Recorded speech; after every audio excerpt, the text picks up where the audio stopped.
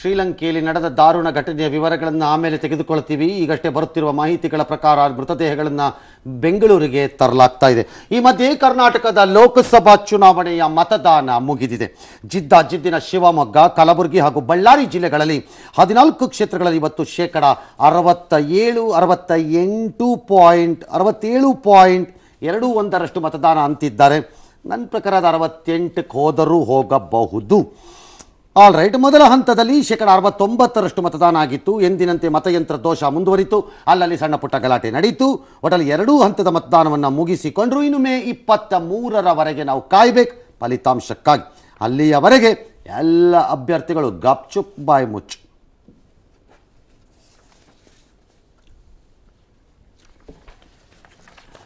ಒಟ್ಟಾರೆ ಕರ್ನಾಟಕದ ಎರಡೂ ಹಂತಗಳ ಇಪ್ಪತ್ತೆಂಟು ಕ್ಷೇತ್ರಗಳ ಮತ ಪ್ರಮಾಣವನ್ನು ಲೆಕ್ಕ ಹಾಕೋದೇ ಆದರೆ ಆವ್ರೇಜ್ ರಫ್ಲಿ ಅರೌಂಡ್ ಅರವತ್ತೆಂಟು, ಅರವತ್ತೊಂಬತ್ತು ಪರ್ಸೆಂಟ್ಗೆ ಬರ್ತಾ ಇದೆ. ಆವ್ರೇಜ್ ಇಪ್ಪತ್ತ ಎಂಟು ಕ್ಷೇತ್ರಗಳ ಆವ್ರೇಜನ್ನು ತೆಗೆದುಕೊಂಡ್ರೆ.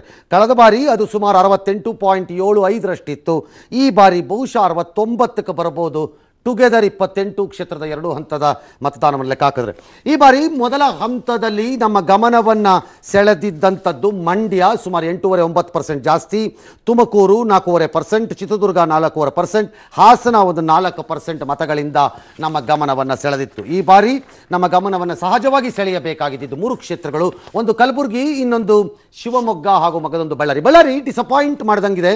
ಸುಮಾರು ನಾಲ್ಕು ಕಾಲು ಪರ್ಸೆಂಟ್ ಅಷ್ಟು ಡೌನ್ ಆಗಿದೆ ಮತದಾನ. ಆದರೆ ಶಿವಮೊಗ್ಗೆ ಕೈ ಬಿಟ್ಟಂಗೆ ಕಾಣಿಸ್ತಾ ಇಲ್ಲ. ರಫ್ಲಿ ನಾಲ್ಕು ಪರ್ಸೆಂಟ್ ರೈಸ್ ಆಗಿದೆ ಅಲ್ಲಿಯ ಮತದಾನ. ಇನ್ನು ಉತ್ತರ ಕನ್ನಡ ನಂಬರ್ ಒನ್ ಸ್ಥಾನಕ್ಕೆ ಹೋಗಿದೆ. ಈ ಬಾರಿನಲ್ಲಿ ಐದು ಪರ್ಸೆಂಟ್ ಅಷ್ಟು ಮತದಾನ ಅಲ್ಲಿ ಹೆಚ್ಚಾಗಿದ್ದರೆ ಧಾರವಾಡದಲ್ಲಿ ವೇರ್ ಪ್ರಹ್ಲಾದ್ ಜೋಶಿ ವರ್ಸಸ್ ವಿನಯ್ ಕುಲಕರ್ಣಿ ಇದೆ ಅಲ್ಲಿ ಸುಮಾರು ನಾಲ್ಕು ಪರ್ಸೆಂಟ್ ರೈಸ್ ಆಗಿದೆ. ಉಳಿದಂತೆ ಎಲ್ಲರೂ ತಮ್ಮ ತಮ್ಮ ಮತ ಪ್ರಮಾಣವನ್ನು ಆಯಾಯ ಕಳೆದ ಬಾರಿ ಎರಡು ಸಾವಿರದ ಹದಿನಾಲ್ಕಕ್ಕೆ ಹೋಲಿಸಿದ್ರೆ ಹೆಚ್ಚು ಕಡಿಮೆ ಉಳಿಸಿಕೊಂಡಂತೆ ಕಾಣುತ್ತೆ. ಮೊದಲ ಹಂತದಲ್ಲಿ ಈ ಮಂಡ್ಯದಲ್ಲಿ ಹೈ ವೋಲ್ಟೇಜ್ ಕದನ ಅಂತ ಏನು ಅಂದ್ಕೊಂಡಿದ್ವಿ ಅದೇ ರೀತಿ ಈ ಬಾರಿ ಹೈ ವೋಲ್ಟೇಜ್ ಕದನ ಶಿವಮೊಗ್ಗದಲ್ಲಿ ಇತ್ತು ಕಾರಣ ಕುಟುಂಬಗಳ ಪ್ರತಿಷ್ಠೆಯ ಪರಿಣಾಮ. ಯಡಿಯೂರಪ್ಪ ಪುತ್ರ ರಾಘವೇಂದ್ರ ಹಾಗೂ ಬಂಗಾರಪ್ಪನವರ ಪುತ್ರ ಮಧು ಬಂಗಾರಪ್ಪ ನಡುವೆ ನೇರ ಹಣಾಹಣಿ ನಡೀತು. ಹೀಗಾಗಿ ಶೇಕಡಾವರು ಮತದಾನ ಏನಾಗುತ್ತೆ ಅನ್ನೋದು ಗೊತ್ತಿಲ್ಲ. ಬಟ್ ವಿಪರೀತವಾಗಿದೆ ಸುಮಾರಾಗಿ ನಾಲ್ಕು ಪರ್ಸೆಂಟಷ್ಟು ಮತವನ್ನು ಹೆಚ್ಚು ಶಿವಮೊಗ್ಗೆಯ ಜನ ಚಲಾಯಿಸಿದ್ದಾರೆ. ಇದು ಕಳೆದ ಚುನಾವಣೆಗೆ ನಾನು ಹೋಲಿಸಿದರೆ. ಕ್ವಿಕ್ ಆಗಿ ನೋಡೋಣ ಯಾರ್ಯಾರ್ದು ಎಷ್ಟೆಷ್ಟಿತ್ತು ಅಂತ ಅಲ್ಲಿ ಇಂಪಾರ್ಟೆಂಟ್ ಲೈಕ್ ಮಂಡ್ಯ ತಗೊಂಡಂಗೆ ಇಲ್ಲಿ ಬೇಗ ಕ್ವಿಕ್ ಆಗಿ ತೊಗೊಂಡ್ಬಿಡ್ತೀನಿ. ಭದ್ರಾವತಿ ಹತ್ತೊಂಬತ್ತು ಅಂದರೆ ಅಸೆಂಬ್ಲಿಗೆ ಮತ್ತೆ ಅಸೆಂಬ್ಲಿನಲ್ಲಿ ಅಸೆಂಬ್ಲಿನಲ್ಲಿ ಎಪ್ಪತ್ಮೂರು ಪರ್ಸೆಂಟ್ ಆಗಿತ್ತು. ಈ ಬಾರಿ ಅದೊಂದು ಅರವತ್ತೊಂಬತ್ತು ಪರ್ಸೆಂಟ್ ಆಗಿದೆ ಲೋಕಸಭೆಗೆ ಕಡಿಮೆ ಅಂಗ್ಲಕ್ಕ ಲೆಕ್ಕ ಹಾಕಿದ್ರೆ. ಇನ್ನು ಬೈಂದೂರ್ ಎಪ್ಪತ್ತೊಂಬತ್ತಾಗಿತ್ತು ಅಸೆಂಬ್ಲಿನಲ್ಲಿ ಆದರೆ ಲೋಕಸಭೆಯಲ್ಲಿ ಅದೊಂದು ಎಪ್ಪತ್ತೈದು ಪರ್ಸೆಂಟ್ ಆಗಿದೆ. ನಾವು ಯಾಕೆ ಇಲ್ಲಿ ಅಸೆಂಬ್ಲಿ ತೊಗೊಂಡಿದ್ವಿ ಅಂದರೆ ಮಂಡ್ಯ ಟೈಪೇ ಇಲ್ಲೂವೇ ಬೈ ಎಲೆಕ್ಷನ್ ಆಯಿತು. ಯಡಿಯೂರಪ್ಪನ ರಾಜೀನಾಮೆ ಕೊಟ್ಟರು ಅದರ ಪರಿಣಾಮ ಅಲ್ಲಿ ಒಂದು ಉಪಚುನಾವಣೆ ನಡೀತು ರಾಘವೇಂದ್ರ ಬಂದಿದ್ರು. ಹಾಗಾಗಿ ಅದು ಕನ್ಫ್ಯೂಸಿಂಗ್ ಆಗುತ್ತೆ. ಹದಿನಾಲ್ಕು ಚುನಾವಣೆ ಒಂದು ಅದಾದ್ಮೇಲೆ ಒಂದು ಉಪಚುನಾವಣೆ ಒಂದು. ಅದನ್ನು ಎರಡು ಕಂಪೇರ್ ಮಾಡೋದು ಬೇಡ ಅಂತ ಅಸೆಂಬ್ಲಿಗೆ ಹೋಗಿದ್ದೀವಿ which is a better barometer ಅಂತ. ಸಾಗರ ಎಪ್ಪತ್ತೊಂಬತ್ತು ಪರ್ಸೆಂಟ್ ಇತ್ತು. ಅಸೆಂಬ್ಲಿನಲ್ಲಿ ಈಗ ಎಪ್ಪತ್ತೆಂಟಾಗಿದೆ ಸೇಮ್ ಟು ಸೇಮ್ ಶಿಕಾರಿಪುರ ಎಂಬತ್ತೆರಡಿತ್ತು ಇತ್ತು. ಎಂಬತ್ತಾಗಿದೆ. ಇನ್ನು ಶಿವಮೊಗ್ಗೆ ನಮ್ಮ ಸ್ಕ್ರೀನ್ ಮೇಲೆ ನಿಮಗೆ ಸಿಗ್ತಾ ಇರುವಂಥದ್ದು ಶಿಕಾರಿಪುರ ಎಂಬತ್ತ ಎರಡಿತ್ತು ಅದೀಗ ರಫ್ಲಿ ಅದೊಂದು ಎಂಬತ್ತಾಗಿದೆ. ಶಿವಮೊಗ್ಗೆ ಅರವತ್ತೇಳಿತ್ತು ಅರವತ್ತೇಳಿದ್ದು ಹೆಚ್ಚು ಕಡಿಮೆ ಅರವತ್ತೇಳು ಪಾಯಿಂಟ್ ಐದು ನಾಲ್ಕು ಒಂದು ಅರ್ಧ ಪರ್ಸೆಂಟ್ ರೈಸೇ ಆಗಿದೆ ಎನ್ಬೋದು ಇನ್ನು ಗ್ರಾಮಾಂತರ ಎಂಬತ್ತೊಂದು ಪರ್ಸೆಂಟ್ ಅಷ್ಟಿತ್ತು ಎಂಬತ್ತೊಂದೂವರೆ ಪರ್ಸೆಂಟು ಈಗ ಒಂದು ಎಂಬತ್ತಕ್ಕೆ ಬಂದಿದೆ. ಸೊರಬ ಎಂಬತ್ನಾಲ್ಕು ಚಿಲ್ಲರೆ ಇತ್ತು ಅಸೆಂಬ್ಲಿನಲ್ಲಿ because naturally Madhu and Kumar Bangarappa ನಡುವೆ ಜಿದ್ದಾಜಿದ್ದಿನ ಸ್ಪರ್ಧೆ ನಡೆದಿತ್ತು. ಈ ಬಾರಿ ಅದು ಎಂಬತ್ತೆರಡಕ್ಕೆ ಬಂದಿದೆ. ತೀರ್ಥಹಳ್ಳಿ ಎಂಬತ್ತೈದಿತ್ತು ಎಪ್ಪತ್ತೊಂಬತ್ತಕ್ಕೆ ಬಂದಿದೆ. ಬಟ್ ಒಟ್ಟಾರೆ ಎರಡು ಸಾವಿರದ ಹದಿನಾಲ್ಕರ ಲೋಕಸಭಾ ಚುನಾವಣೆ ಅಂದರೆ ಯಡಿಯೂರಪ್ಪನವರೇ ನಿಂತಿದ್ದನ್ನು ಏನಾದ್ರು ಲೆಕ್ಕ ತಗೊಂಡರೆ ಈ ಬಾರಿ ನಾಲ್ಕು ಪರ್ಸೆಂಟ್ ರೈಸ್ ಆಗಿದೆ. ಯಾಕಂದರೆ ಯಡಿಯೂರಪ್ಪನವರು ಚುನಾವಣೆಗೆ ನಿಂತಿದ್ದಾಗ ಎಪ್ಪತ್ತೆರಡು ಪರ್ಸೆಂಟ್ ಆಗಿತ್ತು. ಆಗ seventy two point three six ಈಗ ಎಪ್ಪತ್ತಾರು ಆಗಿದೆ. ಸೊ ಅದಕ್ಕೆ ಕಂಪೇರ್ ಮಾಡಿದ್ರೆ ನಾಲ್ಕು ಪರ್ಸೆಂಟ್ ರೈಸ್ ಆಗ್ತಾ ಇದೆ. ಈ ಲೆಕ್ಕಾಚಾರ ಯಾರನ್ನು ಕೈ ಹಿಡಿಯುತ್ತೆ ಯಾರನ್ನು ಬಿಡುತ್ತೆ ಅನ್ನೋದು ನನಗೆ ಗೊತ್ತಿಲ್ಲ. ಬಿಕಾಸ್ ಅವರವರ ಏರಿಯಾಗಳಲ್ಲಿ ಅವರವ್ರಿಗೆ ಒಳ್ಳೊಳ್ಳೆ ಪರ್ಸೆಂಟೇಜ್ ಬಂದಿದೆ ಅಂತ ಅನ್ಕೋಬಹುದು ಭಾಳ ಕೆಟ್ಟದಾಗೇನಿಲ್ಲ Shikaripura, damn good. Possibly Yediyurappa ಪುತ್ರರಿಗೆ help ಆಗ್ಬೋದು. ಶಿಕಾರಿಪುರ, ಶಿವಮೊಗ್ಗ ಶಿವಮೊಗ್ಗ ಗ್ರಾಮಾಂತರ ಎಲ್ಲ. But Soraba I don't know Madhu Bangarappa ನಮ್ಮೂರಿನ ಹುಡುಗ ಅಂತ ನೋಡಿ ಈ ಕಡೆ ಗೊತ್ತಾಗ್ತಾ ಇದ್ದಾರೋ? ಅಥವಾ ಇಲ್ವೋ? ಐ ಐ ಡೋಂಟ್ ನೋ ಅದೇನು ಅಂತ. ಇನ್ನು Thirthahalli again a domination of ಒಂದು community votes like Vokkaliga votes ಅಲ್ಲಿ ಇರುವಂಥ ಗುಡ್ ನಾಲ್ಕು ಪರ್ಸೆಂಟ್ ಕಡಿಮೆ ಆಗಿರ್ಬೋದು. ಎಪ್ಪತ್ತೊಂಬತ್ತು, ಎಂಬತ್ತು ಪರ್ಸೆಂಟ್ ಆಗಿದೆ ಅಲ್ಲಿ. We don't know Byndoor of course long largely supported by B J P ಅದು. ಸಾಗರ ಸಾಲಿಡ್ ಫೈಟ್ ಇದ್ದಂಗಿದೆ. ಮತ್ತು ದೊಡ್ಡ ಪರ್ಸೆಂಟೇಜು ಎಪ್ಪತ್ತೈದು ಪರ್ಸೆಂಟ್ ಓಟ್ ಆಗಿದೆ. ಹಾಗಾಗಿ ಈ ದೊಡ್ಡ ಮತದಾನ ಯಾರನ್ನ ಕೆಡವತ್ತೆ ಯಾರನ್ನ ಬಿಡತ್ತೆ ಅನ್ನೋದು ಸರ್ ಈ ಕಂಪೇರ್. ಮಾಡೋ ಮೂಲಕವಾಗಿ ನಾವೇನ್ ಜಡ್ಜ್ ಮಾಡಬಹುದು ಸರ್ ವಿಧಾನಸಭೆ ಮತ್ತೆ ಲೋಕಸಭೆ ಕಷ್ಟ. ಎರಡೂ ಕಷ್ಟ. ಯಾಕಂದ್ರೆ ಎರಡರದ್ದು ಸ್ಪರ್ಧೆಗಳ ಬೇರೆ ಬೇರೆ ರೀತಿ ನಡೆದಿರುತ್ತೆ. ಫಾರ್ ಎಕ್ಸಾಂಪಲ್ ಸೊರಬದಲ್ಲಿ ಕುಮಾರ್ ಬಂಗಾರಪ್ಪ ವರ್ಸಸ್ ಮಧು ಬಂಗಾರಪ್ಪ ನಡೆದಾಗಿನ ಸ್ಪರ್ಧೆನೇ ಬೇರೆ. ಅಥವಾ ಶಿವಮೊಗ್ಗೇನಲ್ಲಿ ಈಶ್ವರಪ್ಪ ಅವರು ಕಣದಲ್ಲಿದ್ದಾಗ ನಡೆಯುವಂಥ ಗಲಾಟೆನೇ ಬೇರೆ. ಇನ್ಯಾವುದೋ ಒಂದು ಕ್ಷೇತ್ರದಲ್ಲಿ ಕಾಗೋಡು ತಿಮ್ಮಪ್ಪನವರೇ ಬಂದು ನಿಂತುಬಿಟ್ರು ಲಾಸ್ಟ್ ನಿಮಿಷದಲ್ಲಿ ಅಂತ ಅನ್ನೋದು. ಹಂಗಾಗಿ ಅಭ್ಯರ್ಥಿಗಳ ಮೇಲೆ ಸ್ವಲ್ಪ ವ್ಯತ್ಯಾಸಗಳು ಇರುತ್ತವೆ ಜನರಲಿ ನಾವು ಅಸೆಂಬ್ಲಿನ ಕಂಪೇರ್ ಮಾಡಬಾರ್ದು. ಲೋಕಸಭೆ ಕಂಪೇರ್ ಮಾಡುವಾಗ. ಬಟ್ ಇಲ್ಲಿ ಬೈ ಎಲೆಕ್ಷನ್ ಆಗಿತ್ತು ಅನ್ನೋ ಕಾರಣಕ್ಕೆ ಕಂಪೇರ್ ಮಾಡಿದ್ವಿ.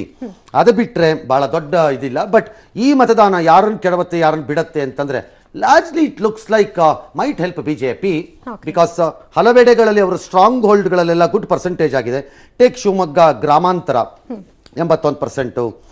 ಶಿವಮೊಗ್ಗ ಗ್ರಾಮಾಂತರ ಒಮ್ಮೆ ಜೆ ಡಿ ಎಸ್ ರೆಪ್ರೆಸೆಂಟ್ ಮಾಡಿದ ಕ್ಷೇತ್ರ. ಹಾಗಾಗಿ ಅವರೊಬ್ಬರಿಗೆ ಬರುತ್ತೆ ಅಂತ ನಾನು ಹೇಳಲಿಕ್ಕಾಗಲ್ಲ ಬೇರೆಯವ್ರಿಗೂ ಬರ್ಬೋದು ಅಲ್ಲಿ. ಬಟ್ ಶಿಕಾರಿಪುರ ಟ್ರೆಡಿಷನಲಿ ನಾವು ಅನ್ಕೋತೀವಿ ಯಡಿಯೂರಪ್ಪನವ್ರದ್ದೇ ಕ್ಷೇತ್ರ ಆದ್ದರಿಂದ ಅಲ್ಲಿ ಅವ್ರಿಗೆ ಬೆಟರ್ ಲಾಭ ಆಗ್ಬೋದು ಅನ್ಕೋತೀವಿ. ಬೈಂದೂರ್ ಟ್ರೆಡಿಷನಲಿ ಬಿಜೆಪಿಗೆ ಸಪೋರ್ಟ್ ಮಾಡೋದ್ರಿಂದ ಅವ್ರಿಗೆ ಲಾಭ ಆಗ್ಬೋದು ಅಂತ ಲೆಕ್ಕ ಹಾಕೋತೀವಿ ಹಾಗಾದ್ರೆ ರಿವರ್ಸ್ ಹೋದಾಗ ಭದ್ರಾವತಿ ಕೈ ಕೊಡ್ಬೋದೇನೋ ಅನ್ಸತ್ತೆ ಅವಾಗ? ಭದ್ರಾವತಿ ಅವ್ರದೇ ಇದೆ. ಭದ್ರಾವತಿ ಕಾಂಗ್ರೆಸ್ನವ್ರು ಇದ್ದಾರೆ ಪ್ಲಸ್ ಅಲ್ಲಿ ಜೆ ಡಿ ಎಸ್ ಇರೋದು ಅಲ್ಲಿ ಬಿಜೆಪಿ ಇಲ್ಲ. ಹಾಗಾಗಿ ಅವರಿಬ್ರು ಒಂದಾಗಿರುವುದರಿಂದ ಅವ್ರಿಗೆ ದೊಡ್ಡ ಲಾಭ ಆಗ್ಬಿಡ್ಬೋದೇನೋ ಭದ್ರಾವತಿನಲ್ಲಿ ಅಂತ ಅನ್ಸುತ್ತೆ. ಇನ್ನು ಸಾಗರ ತೀರ್ಥಹಳ್ಳಿ ಇಲ್ಲಿ ಟಫ್ ಫೈಟ್ ಇದೆ. ಕಾಂಗ್ರೆಸ್ ವರ್ಸಸ್ ಬಿಜೆಪಿ ಮತ್ತೆ ಜೆ ಡಿ ಎಸ್ದು ಒಂದು ಪ್ರೆಸೆನ್ಸ್ ಇದೆ ಇಲ್ಲೆಲ್ಲ.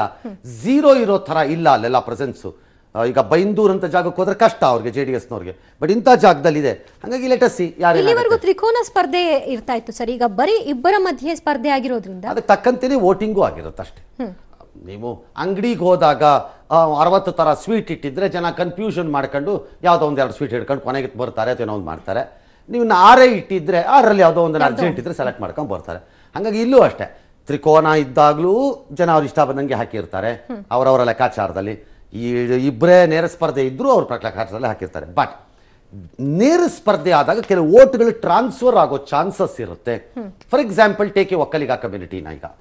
ಎಲ್ಲ ಸಾಗರದಲ್ಲೋ ಸಾರಿ ತೀರ್ಥಹಳ್ಳಿನಲ್ಲೋ ಎಲ್ಲ ಇರುತ್ತೆ ಅಂತ ಇಟ್ಕೊಳ್ಳೋಣ. ಅವ್ರಿಗೆ ಟ್ರೆಡಿಷನಲಿ ಅಲ್ಲೊಂದು ಜೆ ಡಿ ಎಸ್ ಕ್ಯಾಂಡಿಡೇಟ್ ಆಗ್ತಾ ಒಂದು ಇಪ್ಪತ್ತೈದು ಸಾವಿರನೋ ಮೂವತ್ತು ಸಾವಿರನೋ ನಲ್ವತ್ತು ಸಾವಿರನೋ ಹದಿನೈದು ಸಾವಿರನೋ ಎಷ್ಟೋ ಮತ ಕಿತ್ತಾಕ್ತಿದ್ರೇನೋ ಅವರು. ಅವರು ಜೆ ಡಿ ಎಸ್ ಜೊತೆ ನಿಲ್ಲವ್ರೇನೋ ಬಿ ಅವ್ರೀಗ ಬಿಜೆಪಿಗೆ ಹಾಕ್ತಾರಾ? ಹಾಕದೇ ಇರ್ಬೋದು ಕಾಂಗ್ರೆಸ್ ಟ್ರಾನ್ಸ್ಫರ್ ಆಗ್ಬೋದು ಅದು. ಅಥವಾ ಈ ಬಾರಿ ಜೆ ಡಿ ಎಸ್ ಬರ್ಬೋದು. ಅಥವಾ ಅಲ್ಲಿ ಕಾಂಗ್ರೆಸ್ ಸಪೋರ್ಟರ್ಸ್ ಯಾರೋ ಒಕ್ಕಲಿಗರಿದ್ದಾಗ ಅವ್ರು ಟ್ರಾನ್ಸ್ಫರ್ ಮಾಡಬಹುದು ಗೊತ್ತಿಲ್ಲ. ಮಾಡದೇನೂ ಇರ್ಬೋದು ಅವರು. ಅವರ ಸ್ಟ್ರಾಂಗ್ ಅಬ್ಜೆಕ್ಷನ್ ಕಾಂಗ್ರೆಸ್ಗಿದ್ದಾರೆ. ಅವ್ರು ಮಾಡದೇನೂ ಇರ್ಬೋದು. ಹಾಗಾಗಿ ಒಬ್ಬೊಬ್ರಿಗೂ ಒಂದೊಂದು ಲಾಭ ಆಗುತ್ತೆ. ಹೇಳಕ್ ಬರಲ್ಲ ಎಕ್ಸಾಕ್ಟ್ಲಿ ಹಿಂಗಾಗತ್ತೆ ಅಂತ. ಈ ಪರ್ಸೆಂಟೇಜ್ ನೋಡಿದ್ರೆ ಕುಟುಂಬದ ವಿಚಾರವಾಗಿ ನಡೆದಂತಹ ಈ ಫೈಟ್ ಅದು ಅಷ್ಟು ಎಫೆಕ್ಟ್ ಆಗಿಲ್ಲ ಅಂತ ಕಾಣುತ್ತೆ ಸರ್? ಕುಟುಂಬದ ಪರವಾಗಿ ಎಫೆಕ್ಟ್ ಆಗಬೇಕು ಅಂದ್ರೆ ಏನು ಹಂಗಂದ್ರೆ ಪ್ರಶ್ನೆ? ಕುಟುಂಬ ವಿಷಯವಾಗಿ ಮಂಡ್ಯದಲ್ಲಾಯಿತು. ದೊಡ್ಡ ಮಟ್ಟಿಗಿನ ಪರ್ಸೆಂಟೇಜ್ ಅಲ್ಲಿ ಎದ್ದೇಳ್ತು. ಇಲ್ಲಿ ಆ ಥರ ದೊಡ್ಡ ಮಟ್ಟಿಗಿನ ಪರ್ಸೆಂಟೇಜ್ ಎದ್ದು ಕಾಣಿಸ್ತಾ ಇಲ್ಲ ಅಲ್ವಾ ಮಂಡ್ಯ ಪ್ರಚಾರ ಮತ್ತೆ ಮಂಡ್ಯ ಕುತೂಹಲಕ್ಕೂ ಶಿವಮೊಗ್ಗಕ್ಕೂ ವ್ಯತ್ಯಾಸ ಇದೆ.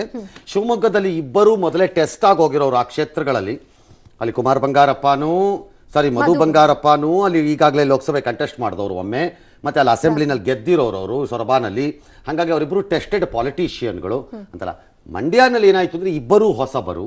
ಅದರ ಹಿಂದೆ ಒಂದು ಸಾವಿತ್ತು ಅದರ ಹಿಂದೆ ಒಂದು ಮಹಿಳೆ ಇತ್ತು. ಅದು ವಿಪರೀತವಾದ ಒಂದೇ ಪಕ್ಷದ ಕಂಟ್ರೋಲ್ನಲ್ಲಿರೋ ಜಿಲ್ಲೆ ಆಗಿತ್ತು. ಪ್ಲಸ್ ಮುಖ್ಯಮಂತ್ರಿಗಳ ಪುತ್ರರೇ ಅಲ್ಲಿ ಬಂದು ನಿಂತರು. ಹಾಗಾಗಿ ಅದರ ಅದರ ಕರಾಮತ್ತೆ ಬೇರೆ ಇದರದ್ದೇ ಬೇರೆ. ಬಟ್ ಸ್ಟಿಲ್ ಎರಡೂ ಫ್ಯಾಮಿಲಿ ಇದ್ರೂ ಜನ ದೊಡ್ಡ ಓಟನ್ನೇ ಹಾಕಿದ್ದಾರೆ ಅಂತ ಅನ್ಕೋಬಹುದು ಲೆಟ್ಸ್ ಗೋ ಫಾರ್ವರ್ಡ್ ಕಲಬುರಗಿ. ಇನ್ನೊಂದು ಕ್ಷೇತ್ರ ಇವತ್ತು ನಮ್ಮನ್ನ ಬಹುತೇಕ ಗಮನವನ್ನು ಸೆಳಿಬೇಕಾಗಿದ್ದು ಕಲಬುರಗಿ ಕ್ಷೇತ್ರ. ಹಾಗೆ ನೋಡಿದ್ರೆ ನಾನು am very surprised and disappointed actually ಹೇಳಬೇಕು ಅಂತಂದರೆ ಯಾವ ವಿಷಯಕ್ಕೆ ಸರ್? ಕಲಬುರಗಿ ಒಂದೇ ಅಲ್ಲ ಪ್ರಾಬಬಲಿ ಎಲ್ಲ ಕ್ಷೇತ್ರಗಳು ಇದ್ದಂಗಿದೆ ನನಗೆ ಯಾಕೋ ನೋಡ್ತಾ ಇದ್ದೆ ನಾನು ಇಲ್ಲಿ ಕೂತ್ಕೊಂಡು. ಲೆಟ್ ಮೀ ಸಿ ನನ್ನ ಕೈಗೆ ಅದನ್ನು ಸಿಕ್ಕಿದ್ರೆ ನೋಡ್ತೀನಿ ಇಫ್ ಪಾಸಿಬಲ್ ಎಲ್ಲ reserved constituencies except Ballari below voting ಮಾಡ್ತಾ ಇವೆ. S C and S T ಎರಡರದ್ದು reserved constituencies ಭಾಳ ಅನ್ಫಾರ್ಚುನೇಟ್ ಅದು. ಅದು ಯಾಕೆ ಬಿಲೋ ವೋಟಿಂಗ್ ಮಾಡ್ತಾ ಇದ್ದಾರೆ ಅಂತ ನನಗೆ ಗೊತ್ತಿಲ್ಲ ಅದು I don't know all right ಲೆಕ್ಕ take. Kalaburagi S C scheduled caste reserve Ballari S T better ಆಗಿರ್ಬೋದು ಸ್ವಲ್ಪ. ಇಲ್ಲ ಅದು ಆಗಿದೆ ಕಡಿಮೆ. ಇನ್ನು Vijayapura S C okay okay Raichur again okay okay ಯಾವುದು ದೊಡ್ಡ ಇದನ್ನು ತೋರಿಸ್ತಾ ಇಲ್ಲ. Still let's go to Kalaburagi quickly ಕಲಬುರಗಿನಲ್ಲಿ ಕಲಬುರಗಿನಲ್ಲಿ ಸೋಲಿನ ರುಚಿಯನ್ನು ತೋರಿಸಲೇಬೇಕು. ಯಾರಿಗೆ? ಮಲ್ಲಿಕಾರ್ಜುನ ಖರ್ಗೆ ಅವರಿಗೆ ಅನ್ನೋದು ಬಹು ಜನರ ಆಸೆಯಾಗಿತ್ತು ಹಾಗಾಗಿ ಪ್ರಧಾನಿ ಮೋದಿ ಬಂದರು ಡ್ಯಾಶ್ ಡ್ಯಾಶ್ ಆಯಿತು ಎಲ್ಲ ಆಯಿತು. ಇನ್ನು ಯಡಿಯೂರಪ್ಪನವರು ಬಿ ಜೆ ಪಿಯವರು ಲಾಸ್ಟ್ ಮಿನಿಟಲ್ಲಿ ಯಾದವ್ ಅವ್ರನ್ನ ಕರ್ಕೊಂಬಂದಲ್ಲಿ ಕಂಟೆಸ್ಟ್ ಮಾಡಿಸಿದ್ರು ಖರ್ಗೆಯ ವಿರೋಧಿಗಳೆಲ್ಲ ಒಂದು ಕಡೆ ಸೇರಿಕೊಂಡ್ರು ಪರಿಣಾಮ ಎಲ್ಲ ಆಯಿತು. ವಿಪರೀತ ಕುತೂಹಲಕ್ಕೆ ಈಡಾಯಿತು. ಅಂತಹ ಕಲಬುರಗಿನಲ್ಲಿ ಇವತ್ತೊಂದು ರಫ್ಲಿ ಅರೌಂಡ್ ಐವತ್ತಾರು ಪಾಯಿಂಟ್ ಎಂಟು ಸಿಕ್ಸ್ ಎಂಟು ಆರು ಅಂತಿದ್ದಾರೆ. ಆದರೆ ಅದು ನನ್ನ ಲೆಕ್ಕಾಚಾರದಲ್ಲಿ ಒಂದು ಐವತ್ತೇಳಕ್ಕೆ ಹೋಗಬಹುದು ಅಂತ ಕಾಣಿಸ್ತಾ ಇದೆ. ಬಿಕಾಸ್ ಕಳೆದ ಬಾರಿಯೂ ಕಲಬುರಗಿನಲ್ಲಿ ಎರಡು ಸಾವಿರದ ಹದಿನಾಲ್ಕರಲ್ಲಾಗಿರೋದು ಐವತ್ತೇಳು ಪಾಯಿಂಟ್ ಒಂಬತ್ತು ಆರು. ಈ ಬಾರಿ ಐವತ್ತೇಳು ಪಾಯಿಂಟ್ ಐದು ಎಂಟು ಅಂತಿದ್ದಾರೆ. ಬಟ್ ಸ್ಟಿಲ್ ನಮ್ಮಲ್ಲಿ ಸ್ವಲ್ಪ ಜಾಸ್ತಿ ಇರೋದ್ರಿಂದ ಅದನ್ನು ನೋಡೋಣ. ಐವತ್ತ ಆರು ಪಾಯಿಂಟ್ ಎಂಬತ್ತಾರು. ಬರತ್ ಅಲ್ಲಿಗೆ ಬರತ್ ಲೆಕ್ಕಾಚಾರ. ನನ್ನ ಲೆಕ್ಕಾಚಾರ ನೋಡ್ತಾರೆ ಲೆಟ್ ಸಿ ಕ್ವಿಕ್ಲಿ ನೋಡ್ಬೇಡ. ಯಾವ್ಯಾವ ಅಸೆಂಬ್ಲಿ ಅಂತ. ಅಫ್ಜಲ್ಪುರ ಅಫ್ಜಲ್ಪುರದಲ್ಲಿ ಅರವತ್ತೆಂಟು ಪರ್ಸೆಂಟ್ ಅಷ್ಟು ರಫ್ಲಿ ಅಸೆಂಬ್ಲಿಗೆ ಮೊನ್ನೆ. I don't know why we have taken assembly again ಇಲ್ಲಿ ಕಲಬುರಗಿನಲ್ಲಿ ಯಾವುದೇ ಬೈ ಎಲೆಕ್ಷನ್ ಇರಲಿಲ್ಲ. ಹಾಗಾಗಿ ಇಲ್ಲಿ ಅಸೆಂಬ್ಲಿ ತಗೊಳ್ಳೋದ್ರಲ್ಲಿ ಮೀನಿಂಗ್ ಇಲ್ಲ. We should have taken the Lok Sabha. ಹಾಂ ಯಾಕಂದರೆ ಇಲ್ಲಿ ಇಲ್ಲಿ ಅಲ್ಲಾದರೆ ಬೈ ಎಲೆಕ್ಷನ್ ಇತ್ತು. ಇಲ್ಲಿ ನಮ್ಗೆ ಯಾಕೆ assembly ತೊಗೋಬೇಕಿಲ್ಲಿ I don't know it's up no consequence ನನ್ನ ಲೆಕ್ಕಾಚಾರದಲ್ಲಿ ಈಗ ಜೇವರ್ಗಿ ಅರವತ್ತೊಂಬತ್ತು ಐವತ್ತು ಇತ್ತು. ಗುರುಮಿಟ್ಕಲ್ ಬೆಟರ್ ವೋಟಿಂಗ್ ಚಿತಾಪುರ ಎಲ್ಲ ಆಗಿದೆ. ಒಟ್ಟಾರೆ overall let me go back there is no point assembly ಹಿಡ್ಕೊಳ್ಳೋದು ಇದರಲ್ಲಿ. ಹಾಗಾಗಿ ಲೆಟ್ ಮಿ ಗೋ ಬ್ಯಾಕ್ ಒಟ್ಟಾರೆ ಕಲಬುರಗಿನಲ್ಲಿ ಸರಿ ಸುಮಾರು ಐವತ್ತ ಆರು ಪಾಯಿಂಟ್ ಎಂಟು ಆರು ಪರ್ಸೆಂಟ್ ಅಷ್ಟು ಓಟಾಗಿದೆ ಅದು ಐವತ್ತೇಳಕ್ಕೆ ಹೋಗುತ್ತೆ ಯಾವ ಅನುಮಾನವೂ ಇಲ್ಲ. ಐವತ್ತೇಳುಕ್ಕೆ ಹೋದರೂ ಕಳೆದ ಬಾರಿಯ ಚುನಾವಣೆಗೆ ಹೋಲಿಸಿದರೆ ಒಂಚೂರು ಕಡಿಮೆ ಆಗಬಹುದು. ಐವತ್ತೇಳುವರೆ ಆದ್ರೂ ಒಂಚೂರು point three point four point five percent ಅಷ್ಟು ಕಡಿಮೆ ಆದರೂ ಆಗಬಹುದು ಅಂತ ಕಾಣಿಸ್ತಿದೆ. ಅನ್ಲೆಸ್ ನಮ್ಮ ಲೆಕ್ಕಾಚಾರಗಳು ಒಂಚೂರು ತಪ್ಪಾಗಿ ಒನ್ ಪರ್ಸೆಂಟ್ ರೈಸ್ ಆಗ್ಬಿಟ್ರೆ ಲಾಸ್ಟ್ ಇಯರ್ ಸರ್ ಆಡಳಿತ ವಿರೋಧಿ ಅಲೆ ಇತ್ತು ಅಂತ ಅಂದಾಗ ವೋಟಿಂಗ್ ಪರ್ಸೆಂಟೇಜ್ ಕೂಡ ಜಾಸ್ತಿ ಆಗುತ್ತಲ್ವಾ? ಸರ್ ಈಗ ಆಗಬೇಕಿತ್ತು ಕಲಬುರಗಿನಲ್ಲಿ ಆಕ್ಚುಲಿ ವೋಟಿಂಗ್ ಪರ್ಸೆಂಟೇಜ್ ರೈಸ್ ಆಗಬೇಕಾಗಿತ್ತು. ಅಲ್ಲಿದ್ದಂತಹ ಪರಿಸ್ಥಿತಿ ಲೆಕ್ಕ ನೋಡಿದ್ರೆ. ಬಟ್ ಎರಡು ಪ್ರಾಬ್ಲಮ್ ಇರ್ಬೋದು ಗುಲ್ಬರ್ಗ ಕಲಬುರಗಿದು ಅಂತ ನನಗನ್ಸತ್ತೆ. ಗುಲ್ಬರ್ಗಾದು. ಪ್ರಾಬ್ಲಮ್ ನಂಬರ್ ಒನ್ ಭಾಳ ಜನ ಅಲ್ಲಿ ಮತಪಟ್ಟಿಯಲ್ಲಿ ಇರಬಹುದು. ಬಟ್ ತುಂಬ ಜನ ಗುಳೆ ಹೋಗುವಂಥ ಜಿಲ್ಲೆ ಅದು. ಸಾವಿರಾರು ಸಾವಿರಾರು ಜನ ಉದ್ಯೋಗಗಳನ್ನು ಜೀವನವನ್ನು ಬದುಕನ್ನು ಅರಸಿ ಹೊರಟೋಗಿರ್ತಾರೆ ಊರಿಂದ. ಅವ್ರುಗಳಲ್ಲಿ ಎಷ್ಟು ಜನಕ್ಕೆ ಬರಕ್ಕಾಗಿದೆ ಬರಕ್ಕಾಗಿಲ್ಲ ಅನ್ನೋದು ಇಟ್ಸ್ ಎ ಮೇಜರ್ ಕ್ವಶನ್ ಅಲ್ಲಿ. ಮತ್ತೆ ಅಲ್ಲಿ ನಡೆಯುವಂತಹ ಗುಳೆ ಅಂದ್ರೆ ಜನ ಉದ್ಯೋಗವನ್ನು ಅರಸಿ ಹೊರಟೋಗೋದು ಹತ್ತರ ಸಂಖ್ಯೆ ನೂರರ ಸಂಖ್ಯೆಯಲ್ಲಿ ಇರಲ್ಲ ಸಾವಿರಗಳ ಸಂಖ್ಯೆಯಲ್ಲಿರುತ್ತೆ. ಬಿಕಾಸ್ ಕನ್ಸ್ಟ್ರಕ್ಷನ್ ವರ್ಕರ್ಸ್ ಆಗಿ ಬಾಂಬೆ ಬಾಂಬೆಗೆ ಹೊಟ್ಟೋಗ್ತಾರೆ ಗೋವಾಗೆ ಹೊಟ್ಟೋಗ್ತಾರೆ ಬೆಂಗಳೂರಿಗೆ ಬಂದಿರ್ತಾರೆ. ಎಷ್ಟು ಜನಕ್ಕೆ ರಿಟರ್ನ್ ಆಗಕ್ಕಾಗಿದೆ ಅಂತ ನನಗೆ no idea that's one big problem ಅಂತ ಕಾಣುತ್ತೆ. ಪ್ರಾಬ್ಲಮ್ ನಂಬರ್ ಟೂ ಅಲ್ಲಿ ಪ್ರಾಬಬಲಿ ಇವತ್ತೇನಾದ್ರು ಬಿಸಿಲು ವಿಪರೀತವಾಗಿ ಕೈ ಕೊಟ್ಟಿದ್ರೆ ಅರ್ಬನ್ ಏರಿಯಾಸ್ ಏನಾದ್ರು ಡೌನ್ ಗಿವನ್ ಆಗಿದ್ರೆ I don't know that may be another problem possibly ನನಗೆ ಅನ್ನಿಸ್ತಾ ಇರೋದು. ಹಾಗಾಗಿ ಗುಲ್ಬರ್ಗಾನಲ್ಲಿ ಅವ್ರು ಕಳೆದ ಬಾರಿ ಇದನ್ನು ಹೋಲ್ಡ್ ಮಾಡಿದ್ದೇ ಜಾಸ್ತಿ. But technically Yadav versus Modi ಎಲ್ಲರೂ ಒಂದಾಗಿದ್ದಾರೆ ಅನ್ನೋ ಹೋರಾಟ ಆದ್ರಿಂದ ಇನ್ನೊಂದು ಮೂರ್ನಾಲ್ಕು ಪರ್ಸೆಂಟ್ ಅಷ್ಟು rise ಆಗಿದ್ದಿದ್ರೆ it would have been a good percentage but ಬೆಂಗಳೂರಿನವ್ರಿಗಿಂತ ಇವರೆಲ್ಲರೂ ಬೆಟ್ರು ಎಲ್ಲ ಬೆಂಗಳೂರಿನವ್ರಿಗಿಂತ ಬೆಟರ್ ವೋಟಿಂಗ್ ಮಾಡಿದ್ದಾರೆ. ಚೆನ್ನಾಗಿ ಮಾಡಿದ್ದಾರೆ. ಸೊ ದಿ ವರ್ಸ್ಟ್ ವಿಲನ್ಸ್ ಇಪ್ಪತ್ತೆಂಟು ಕಾನ್ಸ್ಟಿಟ್ಯೂಯನ್ಸಿ ಬೆಂಗಳೂರಿನವರೇ ಇದ್ದಂಗಿದೆ ಮೂರು ಕ್ಷೇತ್ರಗಳು. ಆಲ್ ರೈಟ್ ಹೊಟ್ಟೆ ತುಂಬಿದವರು. ಏನು ಮಾಡೋಕ್ಕಾಗಲ್ಲ. ದಿಸ್ ಇಸ್ ಕಲಬುರ್ಗಿ ಓಕೆ ಕರ್ನಾಟಕದ ಉಳಿದ ಕ್ಷೇತ್ರಗಳನ್ನ ನೋಡ್ಬಿಡೋಣ. ಏನಾಗತ್ತೆ ಅಂತ? ಯಾವ್ಯಾವ ಕ್ಷೇತ್ರದಲ್ಲಿ ಏನಾಗಿದೆ ಅಂತ ನೋಡ್ಬಿಡೋಣ. ಹತ್ತೊಂಬತ್ತು. ಹದಿನಾಲ್ಕರಲ್ಲಿ. ಶಿವಮೊಗ್ಗ ಶಿವಮೊಗ್ಗೆ ನಾವು ಈಗಾಗಲೇ ಹೇಳಿದ್ವಿ. ನಾಲ್ಕು ಪರ್ಸೆಂಟ್ ರೈಸ್ ಆಗಿದೆ ವೋಟಿಂಗು. ಕಳೆದ ಬಾರಿಯ ಪಾರ್ಲಿಮೆಂಟ್ ಚುನಾವಣೆಗೆ ಹೋಲಿಸಿದ್ರೆ ನಾನು ಹೇಳ್ತಾ ಇರೋದು. ನಾಲ್ಕು ಪರ್ಸೆಂಟ್ ರೈಸ್ ಇದೆ ಅಂತ ಹೇಳಿದ್ವಿ. ರಫ್ಲಿ ನಾಲ್ಕು ಪರ್ಸೆಂಟು ರೈಸ್ ಇದೆ. ಕಲಬುರಗಿ ಐವತ್ತೇಳು ಪಾಯಿಂಟ್ ಒಂಬತ್ತು ಆರು ಲಾಸ್ಟ್ ಇಯರ್ನು ನಿಮಗೆ ಅಂದರೆ ಎರಡು ಸಾವಿರದ ಹದಿನಾಲ್ಕರಲ್ಲಿ ಲೆಕ್ಕ ತಗೊಳ್ಳಿ ಈಗ ಐವತ್ತೇಳು ಪಾಯಿಂಟ್ ಐದು ಎಂಟು ಅಂತ ಇದ್ದೀವಿ. ನನ್ನ ಲೆಕ್ಕಾಚಾರದಲ್ಲಿ ಕಳೆದ ಎರಡು ಸಾವಿರದ ಹದಿನಾಲ್ಕರ ಪರ್ಸೆಂಟೇಜನ್ನ ಈ ಬಾರಿ ಕಲಬುರಗಿ ಡೆಫಿನೆಟ್ಲಿ ಮೀಟ್ ಮಾಡುತ್ತೆ ಅಂತ ಕಾಣುತ್ತೆ. ಇನ್ನೊಂದು ಚೂರು ಪರ್ಸೆಂಟ್ ಇದೆ ಅದನ್ನು ಬಂದು ಮೀಟ್ ಮಾಡುತ್ತೆ. ಫೈನಲ್ ಫಿಗರ್ ಸಿಕ್ಕಿದಾಗ ಕಲಬುರಗಿಲಿ ಐವತ್ತೆಂಟು ಆದರೂ ಆಗಬಹುದು. That's all the improvement Ballari ಎಪ್ಪತ್ತು ಎಪ್ಪತ್ತು ಪರ್ಸೆಂಟಷ್ಟು ಮತ ಆಗಿತ್ತು ಹದಿನಾಲ್ಕರಲ್ಲಿ ಬಟ್ ಈಗ ಅದೊಂದು ಅರವತ್ತಾರಕ್ಕಿದೆ. ಐ ಕ್ಯಾನ್ ಅಂಡರ್ಸ್ಟ್ಯಾಂಡ್ ಆಗಿದ್ದಂತಹ ಫಿಯರ್ನೆಸ್ ಏನಿತ್ತು ಹೋರಾಟದ ತೀವ್ರತೆ ಏನಿತ್ತು ಅದು ಇರ್ಲಿಕ್ಕಿಲ್ಲ ಅಂತ ಕಾಣುತ್ತೆ. ಹಾಗಾಗಿ ದಟ್ಸ್ ಓಕೆ ಸರ್ಪ್ರೈಸಿಂಗ್ ಅಂತಂದ್ರೆ ಎಕ್ಸ್ಟ್ರೀಮ್ಲಿ ಸರ್ಪ್ರೈಸಿಂಗ್ ನನಗೆ. ಯಾಕೆ ಅಂತ ನನಗೂ ಇದು ಗೊತ್ತಾಗ್ತಾ ಇಲ್ಲ ಯಾವ ರೀಸನ್ಗೆ ಇದಾಗ್ತಾ ಇದೆ ಅಂತ. ಸುಮಾರು ಐದು ಪರ್ಸೆಂಟ್ ಅಷ್ಟು ಉತ್ತರ ಕನ್ನಡದಲ್ಲಿ ರೈಸ್ ಆಗೋಗಿದೆ. ಇಡೀ ಕರ್ನಾಟಕದಲ್ಲಿ ಎರಡನೇ ಕ್ಷೇತ್ರ ಇದು. ಇಷ್ಟೊಂದು ಜಾಸ್ತಿ ಆಗಿರುವಂಥದ್ದು ಮಂಡ್ಯ ಬಿಟ್ಟರೆ ಮಂಡ್ಯ ಎಂಟು ಪರ್ಸೆಂಟ್ ಸ್ವಿಂಗ್ ಓಟು ಇಲ್ಲಿ ಐದು ಪರ್ಸೆಂಟ್ ಅಷ್ಟು ಅಡಿಷನಲ್ ವೋಟಿಂಗ್ ಆಗಿದೆ. ಆ, ಉತ್ತರ ಕನ್ನಡದಲ್ಲಿ ಎಪ್ಪತ್ನಾಲ್ಕು ಪರ್ಸೆಂಟಷ್ಟು. ಚಿಕ್ಕೋಡಿ ಎಪ್ಪತ್ನಾಲ್ಕು ಪಾಯಿಂಟ್ ಎರಡು ಒಂಬತ್ತಾಗಿತ್ತು ಕಳೆದ ಬಾರಿ, ಈ ಸರಿ ಎಪ್ಪತ್ಮೂರು ಪಾಯಿಂಟ್ ಒಂಬತ್ತು. ಎಗೈನ್ ನನ್ನ ಲೆಕ್ಕಾಚಾರದಲ್ಲಿ ಚಿಕ್ಕೋಡಿನೂ ಅಲ್ಲಿಗೆ ಬರ್ತಾರೆ ಫೈನಲ್ ಫಿಗರ್ನಲ್ಲಿ ಐ ಥಿಂಕ್ ಅವ್ರದ್ದು ಸೇಮ್ ಟು ಸೇಮ್ ಇರುತ್ತೆ ಅಂದ್ಕೊಂಡಿದ್ದೀನಿ ದಾವಣಗೆರೆ ಸೇಮ್ ಟು ಸೇಮ್ ಎಪ್ಪತ್ಮೂರು ಇಪ್ಪತ್ಮೂರು ಇತ್ತು. ಎಪ್ಪತ್ಮೂರು ಪರ್ಸೆಂಟ್ ಅಷ್ಟು ಚಿಲ್ಲರೆ ದಾವಣಗೆರೆ, ಅದು ಈಗ ಎಪ್ಪತ್ತೆರಡು ಐದು ಏಳು ಅಂತ ನಮ್ಮವರು ಲೆಕ್ಕ ಕೊಡ್ತಾ ಇದ್ದಾರೆ. ಅದನ್ನು ಎಪ್ಪತ್ತ್ಮೂರು ಈಗ ಅಪ್ಡೇಟ್ ಆಗಿದೆ ಸರ್. ಅದನ್ನು ಎಪ್ಪತ್ತೆರಡು, ಐವತ್ತೇಳು ಅಂತಿದ್ದಾರೆ. ನನ್ನ ಲೆಕ್ಕಾಚಾರದಲ್ಲಿ ಅದು ಕೂಡ ತನ್ನ ಕಳೆದ ವರ್ಷದ ಫಲಿತಾಂಶಕ್ಕೆ ಬಂದು ಸಾರಿ ಮತ ಪ್ರಮಾಣಕ್ಕೆ ಬಂದು ನಿಲ್ಲತ್ತೆ ಅಂತ ನನಗೆ ನಂಬಿಕೆ ಇದೆ. ಹಾವೇರಿ, ಎಪ್ಪತ್ತೊಂದು, ಅರವತ್ತೆರಡು ಅಂತಾರೆ ಎಪ್ಪತ್ತೊಂದು, ಇಪ್ಪತ್ತೈದು. ಎಗೇನ್ ನನ್ನ ಲೆಕ್ಕಾಚಾರದಲ್ಲಿ ಇದು ಕೂಡ ಎಪ್ಪತ್ತೆರಡು ಪರ್ಸೆಂಟು, ಎಪ್ಪತ್ತೊಂದು ಪರ್ಸೆಂಟು, ಎಪ್ಪತ್ತೊಂದು ಪಾಯಿಂಟ್ ಆರು ಎರಡು ಹೋದ ಸರಿ ಅಷ್ಟಕ್ಕೆ ಬರುತ್ತೆ. ಗ್ಯಾರಂಟಿ ಬಂದು ನಿಂತ್ಕೋತಾರೆ ಅವರು only good or bad I don't know ಎರಡೂ ಥರದಲ್ಲಿ ನೋಡ್ಬೋದು ಅನ್ಸತ್ತೆ. ಪರ್ಟಿಕ್ಯುಲರ್ಲಿ ನಮ್ಮ ಟಿ ವಿನಲ್ಲಿ ಹಾವೇರಿನಲ್ಲಿ ಬ್ರ್ಯಾಂಡ್ ಅಂಬಾಸಿಡರ್ ಆಗಿ ಆ ಹುಡುಗನ್ನ ಭಾಳ ಪ್ರಮೋಟ್ ಮಾಡ್ತಾ ಇದ್ರು ತೋರಿಸ್ತಾ ಇದ್ರು. ಪರ್ಟಿಕ್ಯುಲರ್ಲಿ ನನ್ನ ಕೆಲವು ಸಹೋದ್ಯೋಗಿಗಳು. ನಾನು ಐ ವಾಸ್ ವಾಚಿಂಗ್ ನೋಡೋಣ let me see what effect it will have ಅಂತ. ಬಟ್ ನನಗೆ ಭಾಳ ದೊಡ್ಡ ಎಫೆಕ್ಟ್ ಆದಂಗೆ ಕಾಣಿಸ್ತಾ ಇಲ್ಲ. ಬಟ್ ರಿವರ್ಸ್ ಯಾರೋ ಒಬ್ರು ಆರ್ಗ್ಯೂ ಮಾಡ್ಬೋದು.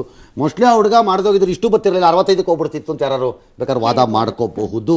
That's okay for me still Haveri ಕಳೆದ ಬಾರಿಯ ಮತ ಪ್ರಮಾಣವನ್ನೇ ಉಳಿಸ್ಕೊಳ್ಳುತ್ತೆ. ಧಾರವಾಡ ಧಾರವಾಡ ಅಮೇಝಿಂಗ್ಲಿ ಒಂದು ನಾಲ್ಕು ಪರ್ಸೆಂಟ್ ರೈಸ್ ಆಗ್ತಾ ಇದೆ. This could be little dangerous for somebody because ಯಾವ ಕಾರಣಕ್ಕಾಗಿದೆ ಅನ್ನೋದು ಏನಾದ್ರು ನಾನು ನಾನು ಅನ್ಕೋತಿರೋ ಒಂದು ನಿರ್ದಿಷ್ಟ ಕಾರಣ ಜಾತಿ ಆಧಾರದಲ್ಲಿ ಏನಾದ್ರು ಆಗೋಗಿದ್ದಾರೆ it may be dangerous to somebody ಅಂದ್ರೆ ಪರ್ಸೆಂಟೇಜ್ ಜಾಸ್ತಿ ಆಗೋದು ಅಥವಾ ಕಡಿಮೆ ಆಗೋದು? ಗೊತ್ತಿಲ್ಲ ಯಾರು ರಿವರ್ಸ್ ಅಲ್ಲಿ ವೆಂಜನ್ಸ್ ಅಲ್ಲಿ ಬಂದು ಓಟ್ ಹಾಕ್ತಾ ಇದ್ರೆ ನಂಗೆ ಗೊತ್ತಿಲ್ಲ. ಹಂಗಾಗಿ ಅಲ್ಲೇನು ದೊಡ್ಡ ವೆಂಜನ್ಸ್ ಇರಬೇಕಾಗಿಲ್ಲ ಅಲ್ಲಿ. ದೊಡ್ಡ ಪ್ರತಿಕಾರದ ಮತದಾನ ಆಗ್ಬೇಕಾಗಿರ್ಲಿಲ್ಲ ಅಲ್ಲಿ. ಆ ಥರದ್ದಾದ್ರೂ ಜಾತಿ ಆಧಾರದಲ್ಲಿ ಏನಾದ್ರು ಆಗೋಗಿದ್ದಾರೆ it's it's not a good sign sitting ಕ್ಯಾಂಡಿಡೇಟ್ಗಳಿಗೆ but still ನೋಡೋಣ ಅದು ಅವ್ರಿಗೂ ಲಾಭ ಆಗಿರ್ಬೋದೇನೋ. ಧಾರವಾಡ ಐದು ಪರ್ಸೆಂಟ್ ರೈಸು ಅಲ್ಲಿ ಅರೌಂಡ್ ಫೋರ್ ಪರ್ಸೆಂಟ್ ಬಾಗಲಕೋಟೆ ಕಳೆದ ಬಾರಿಗಿಂತ ಈ ಬಾರಿ ಪ್ಲಸ್ ಒಂದು ಒಂದು ಪರ್ಸೆಂಟ್ ಅಷ್ಟೇ ಹೆಚ್ಚಿನ ಓಟನ್ನು ಮಾಡಿದ್ದಾರೆ ಬಾಗಲಕೋಟೆನವರು. ಹಾಗಾಗಿ ದೇ ಆರ್ ಗುಡ್ ಕೊಪ್ಪಳ ಈಗೇನೊಂದು ಮೂರು ಪರ್ಸೆಂಟ್ ಎರಡೂವರೆ ಪರ್ಸೆಂಟ್ ಅಷ್ಟು ಓಟನ್ನು ಹೆಚ್ಚಿಗೆ ಮಾಡಿದ್ದಾರೆ. They are not bad Belgaum Belgaum ಅರವತ್ತೆಂಟು ಪರ್ಸೆಂಟ್ ಅಂತ ಲಾಸ್ಟ್ ಇಯರ್ ಇತ್ತು. ಹದಿನಾಲ್ಕರಲ್ಲಿ ಲಾಸ್ಟ್ ಇಯರ್ ಅಲ್ಲ ಲಾಸ್ಟ್ ಲೋಕಸಭಾ ಎಲೆಕ್ಷನಲ್ಲಿ ಅದು ಅರವತ್ತಾರು ಪಾಯಿಂಟ್ ಐದು ಒಂಬತ್ತಕ್ಕೆ ಬಂದಿದೆ ಅಂತಾರೆ. ಮೇ ಬಿ ಇನ್ನೊಂದು ಅರ್ಧ ಪರ್ಸೆಂಟ್ ಒಂದು ಅರವತ್ತೇಳಕ್ಕೆ ಬಂದರೆ ಬೆಳಗಾಂ ಮೇ ಬಿ ಒಂದು ಒಂದೂವರೆ ಪರ್ಸೆಂಟ್ ಲೆಸ್ ಆಗಬಹುದು ಅಂತ ಕಾಣುತ್ತೆ. ಇನ್ನು Bidar again they have done well ಒಂದು ಪರ್ಸೆಂಟ್ ಒಂದೂವರೆ ಪರ್ಸೆಂಟ್ ಅಷ್ಟೇ ಎಕ್ಸಸ್ ಆಗಿದ್ದಾರೆ. ವಿಜಯಪುರ ಕಳೆದ ಬಾರಿಯಷ್ಟೇ ಈ ಬಾರಿಯೂ ಇರ್ತಾರೆ ಇದ್ದಾರೆ ನನ್ನ ಲೆಕ್ಕಾಚಾರದಲ್ಲಿ may be one percent rise ಆಗ್ಬೋದು ಅಷ್ಟೇ ಓಟು. ಅಬ್ಬಬ್ಬ ಅಂತ ರೈಸ್ ಆದರೂ ಫೈನಲಿ ಫಿಗರ್ನಲ್ಲಿ ತೊಗೊಂಡಾಗ ಭಾಳ ದೊಡ್ಡ ವ್ಯತ್ಯಾಸ. ಇಲ್ಲ, ರಾಯಚೂರು ಗೇನ್ ಕಳೆದ ಬಾರಿಯ ಮತ ಪ್ರಮಾಣ ಅಂದರೆ ಒಟ್ಟಾರೆ ನನ್ನ ಲೆಕ್ಕಾಚಾರದಲ್ಲಿ ಕರ್ನಾಟಕದ ಜನತೆ ಎಕ್ಸೆಪ್ಟ್ ಬೆಂಗಳೂರು ಮಹಾನಗರದ ಮೂರು ಕ್ಷೇತ್ರಗಳ ಜನತೆಯನ್ನು ಬಿಟ್ಟರೆ ಉಳಿದಂತೆ ಎಲ್ಲ ಕ್ಷೇತ್ರಗಳ ಜನತೆ ತಮ್ಮ ಮತದಾನದ ಕೆಲಸವನ್ನು ಎರಡು ಸಾವಿರದ ಹದಿನಾಲ್ಕಕ್ಕೆ ಹೋಲಿಸಿದ್ರೆ ಚೆನ್ನಾಗೇ ಮಾಡಿದ್ದಾರೆ ಅಂತ ಅನ್ಕೋಬೋದು including Belgaum. One percent less ಆಗಿರೋದು ಇಟ್ಸ್ ಅಂಡರ್ಸ್ಟ್ಯಾಂಡಬಲ್ ಓಕೆ ಅನ್ಬೋದು ಬಟ್ ಚೆನ್ನಾಗೇ ಮಾಡಿದ್ದಾರೆ ಎಕ್ಸೆಪ್ಟ್ ಮೂರು ಅನ್ಸುತ್ತೆ. ಸೊ ಓವರಾಲ್ ಓವರಾಲ್ ಕರ್ನಾಟಕ ಇಪ್ಪತ್ತ ಎಂಟು ಕ್ಷೇತ್ರಗಳಲ್ಲಿ ಕಳೆದ ಬಾರಿ ಅರವತ್ತೆಂಟು ಪಾಯಿಂಟ್ ಏಳು ಐದು ಪರ್ಸೆಂಟ್ ಅಷ್ಟಿತ್ತು ನಮ್ಮದು ಆವ್ರೇಜ್ ಸರಾಸರಿ ಮತದಾನ. ಈ ಬಾರಿ ಅದು ಅರವತ್ತೆಂಟು ಪಾಯಿಂಟ್ ಏಳು ಏಳು ಈಗಲೇ ಇದೆ. ಮೇ ಬಿ ಅದು ಅರವತ್ತ ಒಂಬತ್ತಕ್ಕೆ ಹೋದರೂ ಹೋಗಬಹುದು. ಅಂದರೆ ಆವ್ರೇಜ್ ತಗೊಂಡ್ರೆ ಕರ್ನಾಟಕ ಈ ಬಾರಿ ಒಂದು ಪಾಯಿಂಟ್ ಟು ಫೈವ್ ಒಂದು ಕಾಲ್ ಪರ್ಸೆಂಟ್ ಅಷ್ಟು ಹೆಚ್ಚಿನ ಮತವನ್ನೇ ಮಾಡಿದೆ ಅಂತ ಅನ್ಕೋಬಹುದು ಅಂದ್ರೆ ಈ ಹಿಂದಿನ ಫ್ಯಾಕ್ಟರ್ಗೂ ಈಗಿನ ಫ್ಯಾಕ್ಟರ್ಸ್ಗೂ ತುಂಬಾ ಬದಲಾವಣೆಗಳಿರುತ್ತಲ್ಲ ಸರ್ ಆಗ ಮೋದಿ ವೇವ್ ಇತ್ತು ಅಂತೆಲ್ಲ ಹೇಳ್ತಾ ಇದ್ರು. ಈಗ ಯಾವ ಮೋದಿ ವೇವ್ ಇಲ್ಲ ಅಂತ ಯಾರು ಹೇಳ್ತಿಲ್ಲ. ಆ ಪ್ರಮಾಣದ ವೇವ್ ಇಲ್ಲ ಅನ್ನೋದು ಕೆಲವರ ಲೆಕ್ಕಾಚಾರ. ಹಂಗಾಗಿ ಯಾವ್ಯಾವಾಗಲೂ ಎಲ್ಲಾ ಚುನಾವಣೆನಲ್ಲೂ ಇಶ್ಯೂಸ್ ಬೇರೆ ಬೇರೆನೇ ಇರುತ್ತೆ. ಒಂದೇ ಇರುತ್ತೆ ಅಂತ ಹೇಳಲಿಕ್ಕೆ ಬರಲ್ಲ. ಲೆಟಸ್ ಸಿ ಈಗ ಮೋದಿ ವೇವ್ ಇಲ್ಲ ಅಂತ ನಾನು ಹೇಳಕ್ ತಯಾರಿ ಇಲ್ಲ. ಬಟ್ ಆ ಪ್ರಮಾಣದಲ್ಲಿ ಇದೆ ಅಂತ ನಾನು ಹೇಳಕ್ಕೂ ತಯಾರಿ ಇಲ್ಲ. ಎರಡ್ ಸಾವಿರದ ಹದಿನಾಲ್ಕರ ಪ್ರಮಾಣದಲ್ಲಿ ಇದೆ ಅಂತ ನಾನು ಹೇಳಕ್ಕೂ ತಯಾರಿ ಇಲ್ಲ. ಎರಡನೇದು ಈ ಸರಿ ನಮಗೆ ಬಹಳ ಕುತೂಹಲವಾಗಿ ಕಾಣಿಸ್ತಾ ಇರೋದು ಹಲವೆಡೆಗಳಲ್ಲಿ ಜೆ ಡಿ ಎಸ್ಗೆ ಒಂದು ಡಿಸ್ಟ್ರಕ್ಟಿವ್ ಪವರ್ ಇತ್ತು. ಯಾರನ್ನೊಬ್ಬರನ್ನ ಹಾಳು ಮಾಡುವಂಥ ಪವರ್ ಇತ್ತು ಅವ್ರಲ್ಲಿ Okay. ಕೆಲವೇ ಕೆಲವಷ್ಟು ಮತಗಳನ್ನೇ ಪಡೆದುಕೊಂಡು ಕೆಲವು ಕ್ಷೇತ್ರಗಳಲ್ಲಿ ಅಟ್ಲೀಸ್ಟ್ ಆ ಮತಗಳು ಏನಾಗಿದೆ? ಸ್ಟ್ರಾಂಗ್ ಜೆ ಡಿ ಎಸ್ ವೋಟರ್ಸೇ ಅವರು ಆಗಿದ್ದಾರೆ. ಏನಾಗಿದೆ ಅನ್ನೋ ಒಂದು ಕುತೂಹಲ ನನಗಿದೆ. ನಂಬರ್ ಟು ಲಿಂಗಾಯತರ ವಿಚಾರದಲ್ಲಿ ನಾನು ಬೆಳಗ್ಗೆ ಹೇಳ್ತಾ ಇದ್ದೆ. ಈ ಬಾರಿಯ ಚುನಾವಣೆ ನನಗೆ ಭಾಳ ಕುತೂಹಲವಾಗಿ ಕಾಣಿಸಿದ್ದು ಹದಿನಾಲ್ಕರ ಚುನಾವಣೆ. ಒಂದು ವಿಷಯದ ಮೇಲೆ ನನ್ನ ಕುತೂಹಲ ಉಳ್ಕೊಂಡಿದೆ. ಅದು ಏನು ಅಂದರೆ ಕಳೆದ ಬಾರಿ ಅಸೆಂಬ್ಲಿ ಚುನಾವಣೆಗೆ ಮೊದಲು ಸಿದ್ದರಾಮಯ್ಯನವರು ಮಾಡಿದಂಥ ಪ್ರಯೋಗ ಏನಿತ್ತು? ಧರ್ಮವನ್ನು ಆಗಬಹುದೇನೋ ಅನ್ನೋ ಥರ ಅವ್ರು ನಾನು ಮಾಡಿಲ್ಲ ಅಂತಾರೆ but still that was is idea that was is ಇದು. ಅದು ಅವ್ರದ್ದೇ ಮಗು ಅವರೇ ಆ ಕೂಸನ್ನು ಒಪ್ಕೋಬೇಕಾಗತ್ತೆ. ಅದು ಮಾಡಿದಾಗ ಫಲಿತಾಂಶ ಬಂದಾಗ ಭಾರತೀಯ ಜನತಾ ಪಕ್ಷವನ್ನು ಲಿಂಗಾಯತರ ಕೈ ಬಿಡಲಿಲ್ಲ. ಕಾಂಗ್ರೆಸ್ ಅನ್ನು ಅಪ್ಪಿಕೊಳ್ಳಲಿಲ್ಲ. ಅವರೇನು? ಅನ್ನೋದು ನಮ್ಮ ಲೆಕ್ಕಾಚಾರ. ಅಫ್ಕೋರ್ಸ್ ಲಿಂಗಾಯತರ ಪ್ರತ್ಯೇಕ ಸಮಾಜಕ್ಕೆ ಹೋರಾಟ ಮಾಡಿದವರು ಹೇಳಿದ್ದು ಇಲ್ಲ ಇಲ್ಲ ನಿಮ್ಮ ಡಾಟಾ ರಾಂಗ್ ಇದೆ. ಲಿಂಗಾಯತರು ಹಾಗೇನು ಮಾಡಿಲ್ಲ. ಬೇರೆ ಬೇರೆ ರೀಸನ್ಸ್ಗೆ ಇದು ಕನ್ಸಾಲಿಡೇಷನ್ ಆಗಿದೆ ಅಷ್ಟೇ ಓಟು ಅಂತೆಲ್ಲ ಹೇಳಿದ್ರು. ಬಟ್ ಏನೋ ರಿಸಲ್ಟ್ಸ್ ಆರ್ ರಿಸಲ್ಟ್ಸ್ ಈ ಬಾರಿ ಲಿಂಗಾಯತರು ಅದೇ ಥರ ಮತವನ್ನು ಹಾಕ್ತಾ ಇದ್ದಾರಾ? ಅಸೆಂಬ್ಲಿಲಿ ಹಾಕ್ದಂಗೆ ಆ ಧರ್ಮದ ವಿಚಾರದಲ್ಲಿ. ಅಥವಾ ಅದನ್ನ ಬಿಟ್ಟು ಮತವನ್ನು ಹಾಕ್ತಿದ್ದಾರಾ? ನಂಬರ್ ಒನ್ ನಂಬರ್ ಟೂ ಆಗ ಕಾಂಗ್ರೆಸ್ ಮೇಲೆ ಅಪ್ಪಿತಪ್ಪಿಯವರಿಗೆ ಕೋಪ ಇದ್ದಾಗ ರಿವರ್ಸ್ ಆಗಿ ಏನಾದ್ರು ಓಟ್ ಹಾಕಿದ್ದಾರಾ? ಈಗ ಆ ಕೋಪವೆಲ್ಲ ಶಮನವಾಗಿ ಒಂದಿಷ್ಟೇನಾದ್ರು ಕಾಂಗ್ರೆಸ್ಗೂ ಓಟ್ ಹಾಕ್ತಾರಾ? ನಂಬರ್ ತ್ರೀ ಆಗ ಅವರಿಗೆ ಕೋಪವಿತ್ತು ಆಕ್ರೋಶವಿತ್ತು ಹಾಗಾಗಿ ತೀವ್ರವಾಗಿ ವಿರೋಧವಾಗಿ ಹಾಕಿದ್ರು. ಈಗ ಅವರಿಗೆ ಆ ಕೋಪ ತಾಪ ಎಲ್ಲ ಶಮನ ಆಗಿ ಜಾತಿಯ ಆಧಾರದ ಮೇಲೆ ಅವರು ತಮ್ಮ ತಮ್ಮ ಅಭ್ಯರ್ಥಿಗಳಿಗೆ ಕಾಂಗ್ರೆಸ್ಗೆ ಕೊಡೋಣ ಬಿಡೋರ್ಗೆ ಅನುಕಂಪ ಹೋದ್ಸರ್ನು ಸೋಲ್ಸಿದ್ವಿ ಈ ಸರಿ ಏನು ಸೋಲ್ಸೋದವ್ರನ್ನ ಅಂತ ಕೊಡ್ತಾರಾ? ಇದೊಂದು ಕ್ರೂಷಿಯಲ್ ಇಶ್ಯೂ ನಮಗೆ ಗೇಜ್ಗೆ ಸಿಗ್ತಾ ಇಲ್ದಿರೋಂಗೆ ಕಾಣಿಸ್ತಾ ಇದೆ. ದಾಟ್ ಏನಾದರೂ ಗೊತ್ತಾಗೋದಾದರೆ ಈ ಹಂತದಲ್ಲಿ ಏನಾಗತ್ತೆ ಅಂತ ಹೇಳಲಿದ್ದಕ್ಕೂ ಸುಲಭ ಆಗುತ್ತೆ. ಈ ಹಂತದಲ್ಲಿ ಭಾರತೀಯ ಜನತಾ ಪಕ್ಷಕ್ಕೆ ಇದು ಭಾಳ ಪ್ರೆಸ್ಟೀಜಿಯಸ್ ಪಾಯಿಂಟ್ ಇದು. ಯಾಕಂದರೆ ಈ ಹದಿನಾಲ್ಕರಲ್ಲಿ ರಫ್ಲಿ ಹನ್ನೊಂದು ಸೀಟ್ನೋ ಏನೋ ಅವರು ಅವ್ರ ಕೈಯಲ್ಲಿ ಇಟ್ಕೊಂಡಿದ್ದಾರೆ. ಮೂರು ಸೀಟ್ನೋ ಏನೋ ಪ್ರತಿಪಕ್ಷಗಳ ಕೈಯಲ್ಲಿ ಇದ್ದಂಗಿದೆ ಅಲ್ಲಿ. ಗುಲ್ಬರ್ಗ ರಾಯಚೂರು ಮತ್ತು ಇನ್ನೊಂದು ಯಾವುದೋ ಒಂದು ಕ್ಷೇತ್ರ ಪ್ರತಿಪಕ್ಷಗಳ ಕೈಯಲ್ಲಿ ಇದ್ದಂಗಿದೆ. ಉಳಿದ ಕ್ಷೇತ್ರಗಳು ಯಾವುದೂ ಇವ್ರ ಜೊತೆ ಇದ್ದಂಗೆ ಇಲ್ಲ. ಈ ಸರಿನೂ ಕೂಡ ಮೋದಿ ಅಪೋನೆಂಟ್ಸ್ ಜೊತೆ ಇದ್ದಂಗಿಲ್ಲ. ಬಳ್ಳಾರಿ ಒಂದಿದೆ ಅವ್ರ ಹತ್ರ. ಇನ್ಯಾರ್ದು ಇಲ್ಲ ಚಿಕ್ಕೋಡಿ ಚಿಕ್ಕೋಡಿ ಸಾರಿ ಚಿಕ್ಕೋಡಿ ಇದೆ ಬಳ್ಳಾರಿ ಇದೆ ಎರಡೂ ಇತ್ತು ಅವ್ರ ಹತ್ರ ನಾಲ್ಕಿದೆ. ಹಾಗಾಗಿ ಇನ್ನು ಉಳಿದಿದ್ದೆಲ್ಲ ಬಿಜೆಪಿ ಜೊತೆ. ಹಾಗಾಗಿ ಬಿಜೆಪಿಗೆ ಈ ಹಂತದಲ್ಲಿ ಎರಡನೇ ಹಂತದಲ್ಲಿ ಬಹಳ ದೊಡ್ಡ ಪ್ರೆಸ್ಟೀಜ್ ಇದು. ತನ್ನ ಎಲ್ಲ ಕ್ಷೇತ್ರಗಳನ್ನು ಉಳಿಸ್ಕೋಬೇಕದು ಅದು. ಇಪ್ಪತ್ತೆರಡು ಸೀಟು ಇಪ್ಪತ್ನಾಲ್ಕು ಸೀಟು ಇಪ್ಪತ್ತಾರು ಸೀಟು ಅಂತ ಮಾತಾಡೋದೇ ಆದರೆ ಎಲ್ಲ ಉಳಿಸ್ಕೋಬೇಕಾಗತ್ತೆ. ಮತ್ತು ಇದು ತನ್ನ ಸ್ಟ್ರಾಂಗ್ ಹೋಲ್ಡಲ್ಲಿ ಕೂತ್ಕೊಂಡಿದೆ ಈ ಸರಿ ಬಿ ಜೆ ಪಿ ಕಳೆದ ಬಾರಿ ಬಿ ಜೆ ಪಿ ತನ್ನ ಶಕ್ತಿ ಇಲ್ಲದ ಪ್ರದೇಶಗಳಲ್ಲಿ ಫೈಟ್ ಮಾಡ್ತಾ ಬಂತು. ಈ ಬಾರಿ ತನ್ನ ಶಕ್ತಿ ಇರುವ ಜಗತ್ತು. ಹಾಗಾಗಿ ಈ ಬಾರಿಯ ಟೆಸ್ಟ್ ಬಿಜೆಪಿಗೆ ಜಾಸ್ತಿ ಕಾಂಗ್ರೆಸ್ ಮತ್ತು ಜೆ ಡಿ ಎಸ್ಗಿಂತ ಮೊದಲನೇ ಹಂತದಲ್ಲಿ ಕಾಂಗ್ರೆಸ್ ಮತ್ತು ಜೆ ಡಿ ಎಸ್ಗೆ ಟೆಸ್ಟ್ ಜಾಸ್ತಿ ಇತ್ತು. ಬಿಜೆಪಿಗೆ ಕಡಿಮೆ ಇತ್ತು. ಬಟ್ ಈ ಸರಿ ಬಿಜೆಪಿಗೆ ಜಾಸ್ತಿ ಇದೆ. ಹಾಗಾಗಿ ಇಟ್ಸ್ ವೆರಿ ಕ್ರೂಷಿಯಲ್ ಬಿಜೆಪಿಗೆ ತನ್ನ ದಕ್ಷಿಣ ಭಾರತದ ಹೆಬ್ಬಾಗಿಲನ್ನ ಹಾಕಿಕೊಳ್ಳದೆ ತೆಗೆದು ಇಟ್ಟುಕೊಳ್ಳಲು. ಆಲ್ ರೈಟ್ ಒಂದು ವಿರಾಮ ಇದೆ. ವಿರಾಮದ ನಂತರ ವಾಪಸ್ ಬರ್ತೀವಿ. ವಾಪಸ್ ಬಂದ ಮೇಲೆ ಗೂಂಡಾಗಳು ಗೂಂಡಾಗಳೇ. ಎಲ್ಲಿದ್ರೇನು? They they they are goondas. As simple as it is. ಪ್ರಜಾಪ್ರಭುತ್ವದಲ್ಲಿ ಬಹಳ ಸರಿ ಗೂಂಡಾಗಳನ್ನು ರಕ್ಷಿಸುವಂತಹ ರಾಜಕಾರಣಿಗಳು ನನಗೆ ಅವರು ದುಷ್ಟರು ದುರ್ಬುದ್ಧಿಯುಳ್ಳವರು ಒಂಥರ ಡಕಾಯಿತ ಸ್ವರೂಪಿಗಳಾಗಿ ನನಗೆ ಕಾಣಿಸ್ತಾ ಇರ್ತಾರೆ. ಕಾರಣ ಮತಕ್ಕೋಸ್ಕರ ಗೂಂಡಾಗಳನ್ನು ಸೇಫ್ ಗಾರ್ಡ್ ಮಾಡೋ ಎಲ್ಲ ನಾಯಕರು ಸಮಾಜ ದ್ರೋಹಿಗಳು ನನ್ನ ಪ್ರಕಾರದಲ್ಲಿ. ಅಂಥದ್ದೇ ಒಂದು ಘಟನೆ ಇದ್ದಂಗಿದೆ. ಕಾಂಗ್ರೆಸ್ ಗೂಂಡಾ ಕಾರ್ಯಕರ್ತರು ಪಬ್ಲಿಕ್ ಟಿವಿ ಕ್ಯಾಮ್ರಾಮನ್ ಮನೀಶ್ ಮೇಲೆ ಹಲ್ಲೆ ನಡೆಸಿದ್ದಾರೆ. ರೋಜಾ ಬಡಾವಣೆಯಲ್ಲಿ ನಕಲಿ ಮತದಾನ ಸೆರೆ ಹಿಡಿಯಲು ಹೋಗಿದ್ದೆ ತಪ್ಪು ಅನ್ನೋ ರೀತಿಯಲ್ಲಿ ರೌಡಿ ಶೀಟರ್ ಬಾಬಾ ಖಾನ್ ಮತವನ್ನ ಚೇಲಾಗಳು ಹಲ್ಲೆ ಮಾಡಿದ್ದಾರೆ. ನಕಲಿ ಮತದಾನ ಸಂಬಂಧ ಬಿಜೆಪಿ ಅಭ್ಯರ್ಥಿ ಉಮೇಶ್ ಜಾಧವ್ ಹಾಗೂ ಕೈ ಕಾರ್ಯಕರ್ತರ ಮಧ್ಯೆ ವಾಗ್ವಾದ ನಡೀತಾ ಇತ್ತು. ಇದನ್ನು ನಮ್ಮ ಕ್ಯಾಮ್ರಾಮನ್ ಮನೀಶ್ ಸೆರೆ ಹಿಡಿಯಲು ಹೋಗಿದ್ರು. ಈ ವೇಳೆ ಮೂವತ್ತರಿಂದ ನಲವತ್ತು ಜನ ಕ್ಯಾಮ್ರಾ ಕಸಿದು ಮನಬಂದಂತೆ ಥಳಿಸಿದ್ದಾರೆ. ನಿಮಗೆ ಈ ಏರಿಯಾದಲ್ಲಿ ಬಂದು ಶೂಟಿಂಗ್ ಮಾಡುವಷ್ಟು ಧೈರ್ಯ ಬಂತ ಅಂತ ರೌಡಿ ಶೀಟರ್ ಬಾಬಾ ಖಾನ್ ಅವಾಜ್ ಹಾಕಿದ್ದಾನೆ. ಅಲ್ಲದೆ ಕೊಲೆ ಮಾಡುವುದಾಗಿಯೂ ಬೆದರಿಕೆಯನ್ನ ಹಾಕಿದ್ದಾನೆ. ಘಟನೆಯ ನಂತರ ಸ್ಥಳಕ್ಕೆ ಕಲಬುರಗಿ ಎಸ್ಪಿ ಎಡಾ ಮಾರ್ಟಿನ್ ಭೇಟಿ ನೀಡಿ ಪರಿಶೀಲನೆ ನಡೆಸಿದ್ರು. ರೋಜಾ ಪೊಲೀಸ್ ಠಾಣೆಯಲ್ಲಿ ಪ್ರಕರಣ ದಾಖಲಾಗಿದೆ. ಅಂದ ಹಾಗೆ ಈ ರೌಡಿ ಶೀಟರ್ ಬಾಬಾ ಖಾನ್ ಇದೇ ರೀತಿ ಎರಡ್ ಸಾವಿರದ ಒಂಬತ್ತರಲ್ಲಿ ಸಹ ಖಾಸಗಿ ವಾಹಿನಿಯ ಕ್ಯಾಮೆರಾನ ಧ್ವಂಸ ಮಾಡಿದ್ದ. ಆದರೆ ಪೊಲೀಸರು ಆತನ ಪ್ರಭಾವಕ್ಕೆ ಒಳಗಾಗಿ ಸೂಕ್ತ ಸಾಕ್ಷ್ಯಗಳಿಲ್ಲ ಅಂತ ಕೇಸನ್ನ ಕ್ಲೋಸ್ ಮಾಡಿದ್ರು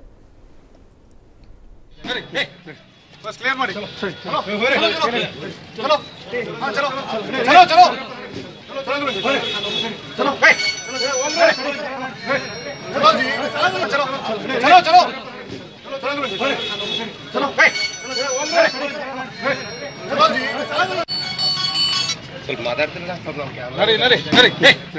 ಬಸ್ ಕ್ಲಿಯರ್ ಮಾಡಿ.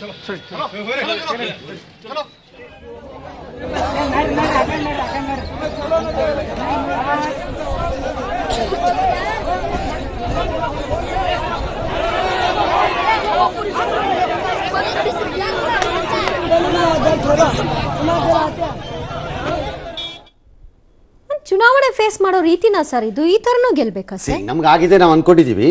ಚುನಾವಣಾ ಸಂದರ್ಭದಲ್ಲಿ ಒಂದಿಷ್ಟು ಹೀಟ್ಗಳಿರುತ್ತೆ ನಾನು ಹೀಟ್ ಹೀಟನ್ನು ಇರಲ್ಲ ಅಂತ ಅನ್ನಲ್ಲ. ಆದರೆ ಇದು ಪಕ್ಕಾ ಗುಂಡಾಗಿರಿ ಇದು. ಹೀಟ್ ಬೇರೆ. ಆ ವಾದ ಮಾಡೋದು ಆಗ್ಯ ಮಾಡೋದು ಅವ್ರವ್ರ ಬೂತ್ಗಳ ಹತ್ರ ಒಂದು ಚುಚ್ಚು ಜಗಳ ಮಾಡ್ಕೊಳ್ಳೋದು ಇವೆಲ್ಲ ಕಾಮನ್ ಅದು. ಅದು ನನಗೇನು ತುಂಬ ಹೊಸದಾಗಿ ಕಾಣಲ್ಲ ಭಾರತದ ಪ್ರಜಾಪ್ರಭುತ್ವದಲ್ಲಿ.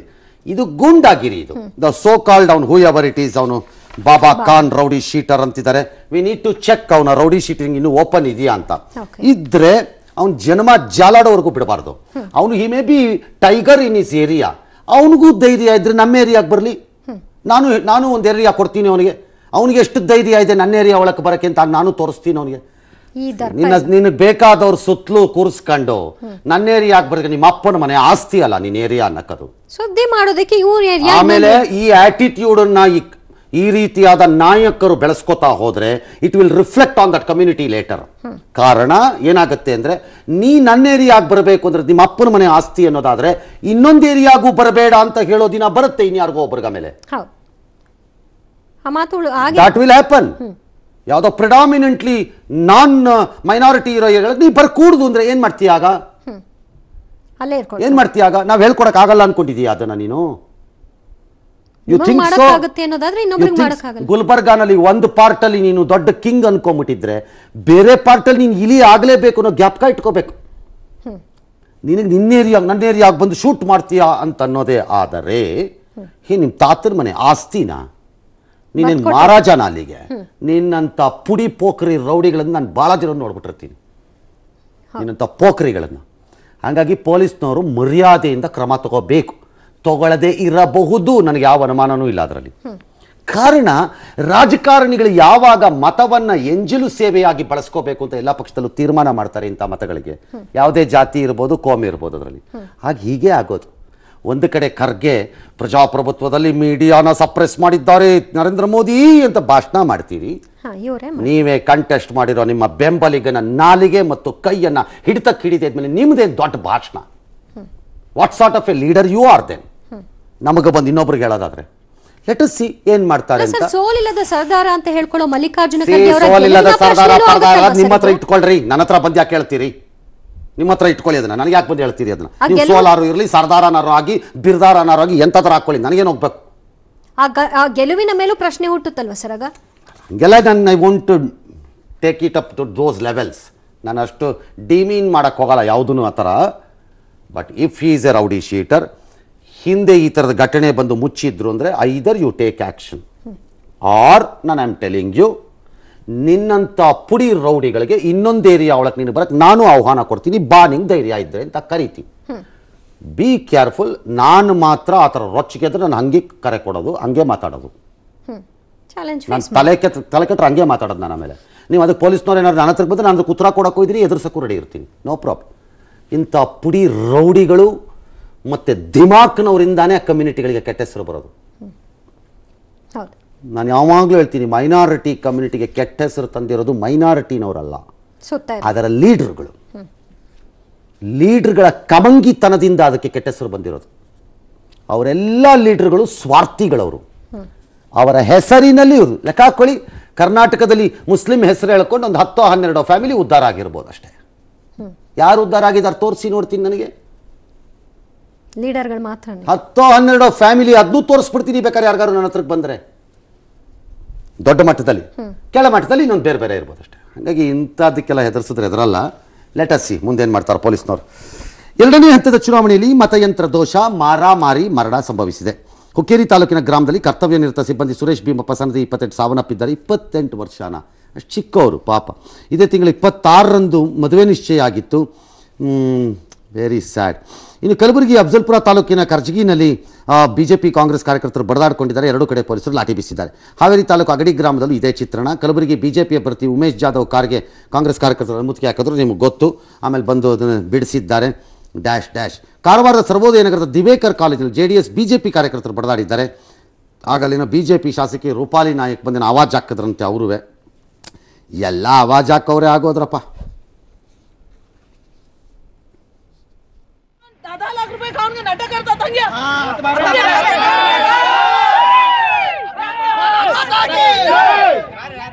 दादा लाख रुपये खाली झाले ना दादा लाख रुपये खाऊन घेऊन कसं साधारण आता आपका लावाय म्हणा ते मग सांगता तुला लावाय घे नसा मग सांगता तुला लावाय म्हणा ते कंजी उतरान उलट तो कंजी उतरान उलट दादागिरी अरे दादागिरी करायला उतर दादागिरी.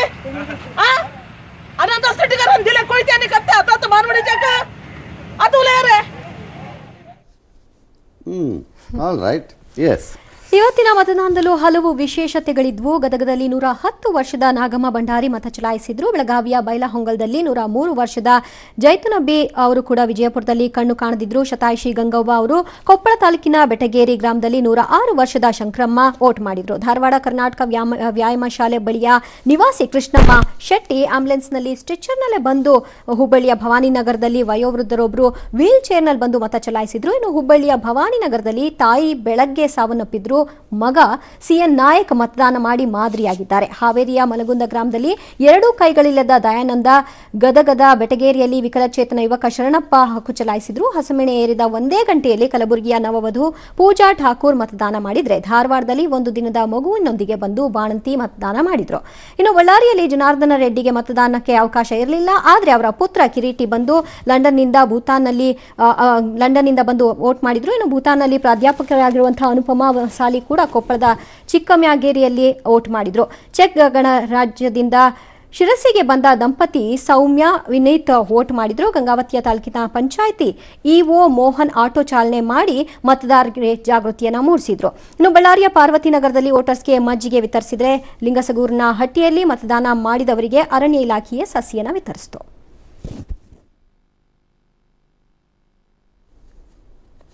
ಸ್ಟ್ರೆಚರ್ನಲ್ಲಿ ಬಂದು ವೋಟ್ ಮಾಡ್ತಾರೆ ಬೇರೆ ಫಸ್ಟ್ ರೌಂಡಲ್ಲೂ ಆಗಿತ್ತು.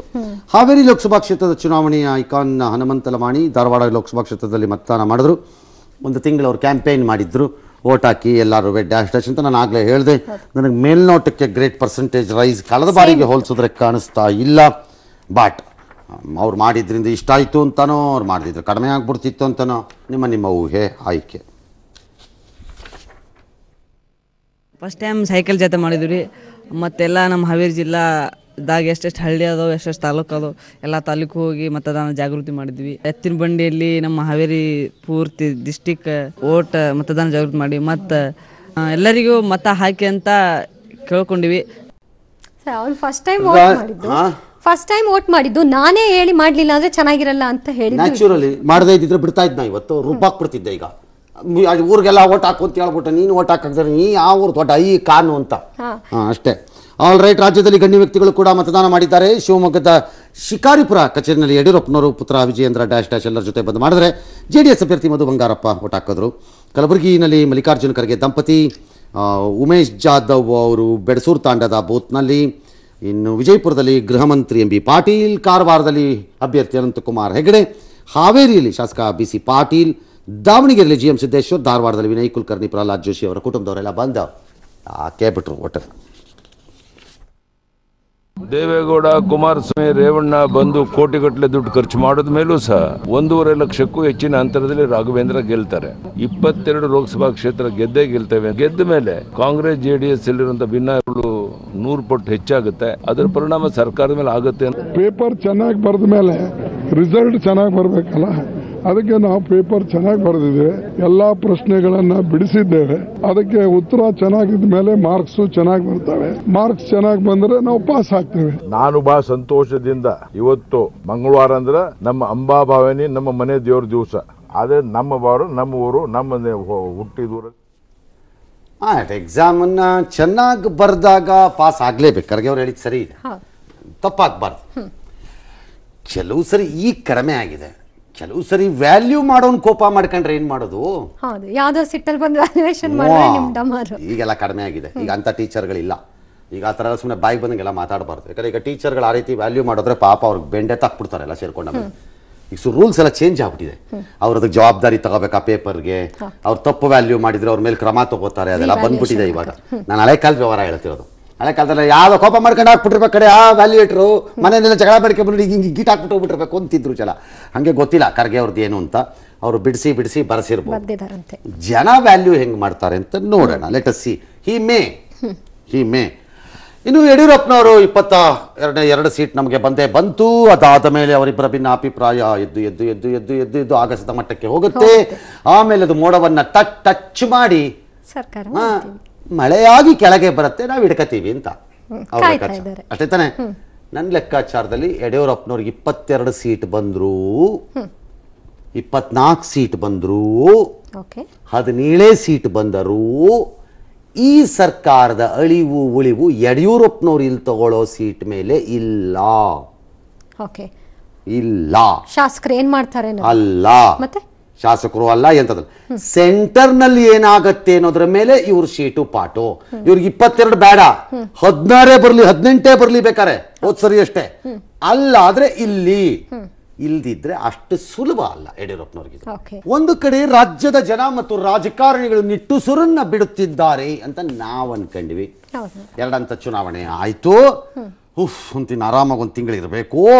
ಆಮೇಲೆ ರಿಸಲ್ಟು ಅಂತ ಹಂಗೆಲ್ಲ ಪುರ್ಸೊತ್ತಿರುತ್ತೆ. ಪಾಲಿಟಿಕ್ಸ್ ಅಂದ್ರೆ ಏನು? Twenty four into seven three sixty five days okay ಸೂರ್ಯ ಇರಲಿ ಇಲ್ಲದೆ ಇರಲಿ. ನಡೀತಾ ಇರಬೇಕು ಅದು. ಇಲ್ಲಿದ್ರೆ ಆಗಲ್ಲ. ರಾಜ್ಯದಲ್ಲಿ ಲೋಕಸಭಾ ಚುನಾವಣೆ ಪ್ರಕ್ರಿಯೆ ಮುಗಿಯುತ್ತಿದ್ದಂತೆ ಆಪರೇಷನ್ ಕಮಲದ ವಾಸನೆ ಹಬ್ತಿದೆ. ನಮ್ಮವರು ಧೂಳು ಎದ್ದಿದೆ ಅಂತಾರೆ. ಕಮಲದ್ದೆಲ್ಲಾರು ಧೂಳು ಬರುತ್ತೆಯೇ? ಇಲ್ಲ ಆದ್ರೆ ಪರಿಮಳ. ಪರಿಮಳ ವಾಸನೆ ಅದು ಹಬ್ಬಿದೆ. ಕಾಂಗ್ರೆಸ್ ಅತೃಪ್ತ ಭಿನ್ನಮತೀಯ ಶಾಸಕ ರಮೇಶ್ ಜಾರಕಿಹೊಳಿ ಪಕ್ಷ ಬಿಡುವ ಬಗ್ಗೆ ಪ್ರಕಟಿಸ್ತಾ ಇದ್ದಾರೆ. ತಾಂತ್ರಿಕವಾಗಿ ಪಕ್ಷದಲ್ಲಿದ್ದೇನೆ, ಸದ್ಯದಲ್ಲಿ ರಾಜೀನಾಮೆ ದಿನಾಂಕ ಹೇಳ್ತೀನಿ ಅಂದರು. ಹಿಂದೆನೂ ಹೇಳಿದ್ರಪ್ಪ ಅವರು, ಯಾವುದೋ ದಿನಾಂಕ ಎರಡು ಮೂರು ದಿನದಲ್ಲಿ ಕೊಡ್ತೀನಿ ಅಂತ ಕೊಟ್ಟಿರಲಿಲ್ಲ. ರಮೇಶ್ ಜಾರಕಿಹೊಳಿ ಹೇಳಿಕೆ ನೀಡುತ್ತಿದ್ದಂತೆ ಬಿಜೆಪಿ ರಾಜ್ಯಾಧ್ಯಕ್ಷ ಯಡಿಯೂರಪ್ಪನವರು ಕೂಡ ಇರಲಿ, ನಂದು ಒಂದು ಅಂತ ಅದಕ್ಕೊಂದು ಪಟಾಕಿ ಹಾಕಿದ್ರು. ಕುಮಾರಸ್ವಾಮಿ ವಿರುದ್ಧ ಇಪ್ಪತ್ತಕ್ಕೂ ಹೆಚ್ಚು ಶಾಸಕರ ಅಸಮಾಧಾನರಾಗಿದ್ದಾರೆ ಆದರೆ ಆ ಶಾಸಕರು ನಮ್ಮ ಜೊತೆ ಸಂಪರ್ಕದಲ್ಲಿಲ್ಲ ಅಂತಂದರು. ಹಾಂ ಅದೆಂಗದು? ಒಳ್ಳೆ ಕತೆ ಆಯ್ತಲ್ಲ. ಮಾಜಿ ಉಪಮುಖ್ಯಮಂತ್ರಿ ಈಶ್ವರಪ್ಪನವರು ಹಾಗೂ ಮಾಜಿ ಸಚಿವ ಉಮೇಶ್ ಕತ್ತಿ ಮೇ ಇಪ್ಪತ್ತ್ಮೂರು ಮೇಲೆ ಆಪರೇಷನ್ ಕಮಲದ ಮುನ್ಸೂಚನೆಯನ್ನು ಅವರು ಕೊಟ್ಟಿದ್ದಾರೆ. ಇಲ್ಲ, ದೂರ ಇಲ್ಲ. ನಾವು ತಾಂತ್ರಿಕ ಕಾಂಗ್ರೆಸ್ ಪಕ್ಷ ಶಾಸಕದನೇ ಕಾಂಗ್ರೆಸ್ ತೆಗದನೆ, ಕಾಂಗ್ರೆಸ್ ರಾಜೀನಾಮೆ ಕೊಟ್ಟು ಮುಂದಿನ ನಿರ್ಧಾರ ಮಾಡ್ತಾರೆ ಇವತ್ತಕ್ಕೂ ಹೆಚ್ಚು ಜನ ಕಾಂಗ್ರೆಸ್ ಶಾಸಕರು ಅಸಮಾಧಾನದಲ್ಲಿದ್ದಾರೆ. ಕುಮಾರಸ್ವಾಮಿನ ಮುಖ್ಯಮಂತ್ರಿಯಿಂದ ಒಪ್ಪಲಕ್ಕೆ ನಾವು ರೆಡಿ ಇಲ್ಲ ಅಂತ ಹೇಳ್ತಾ ಇದ್ದಾರೆ.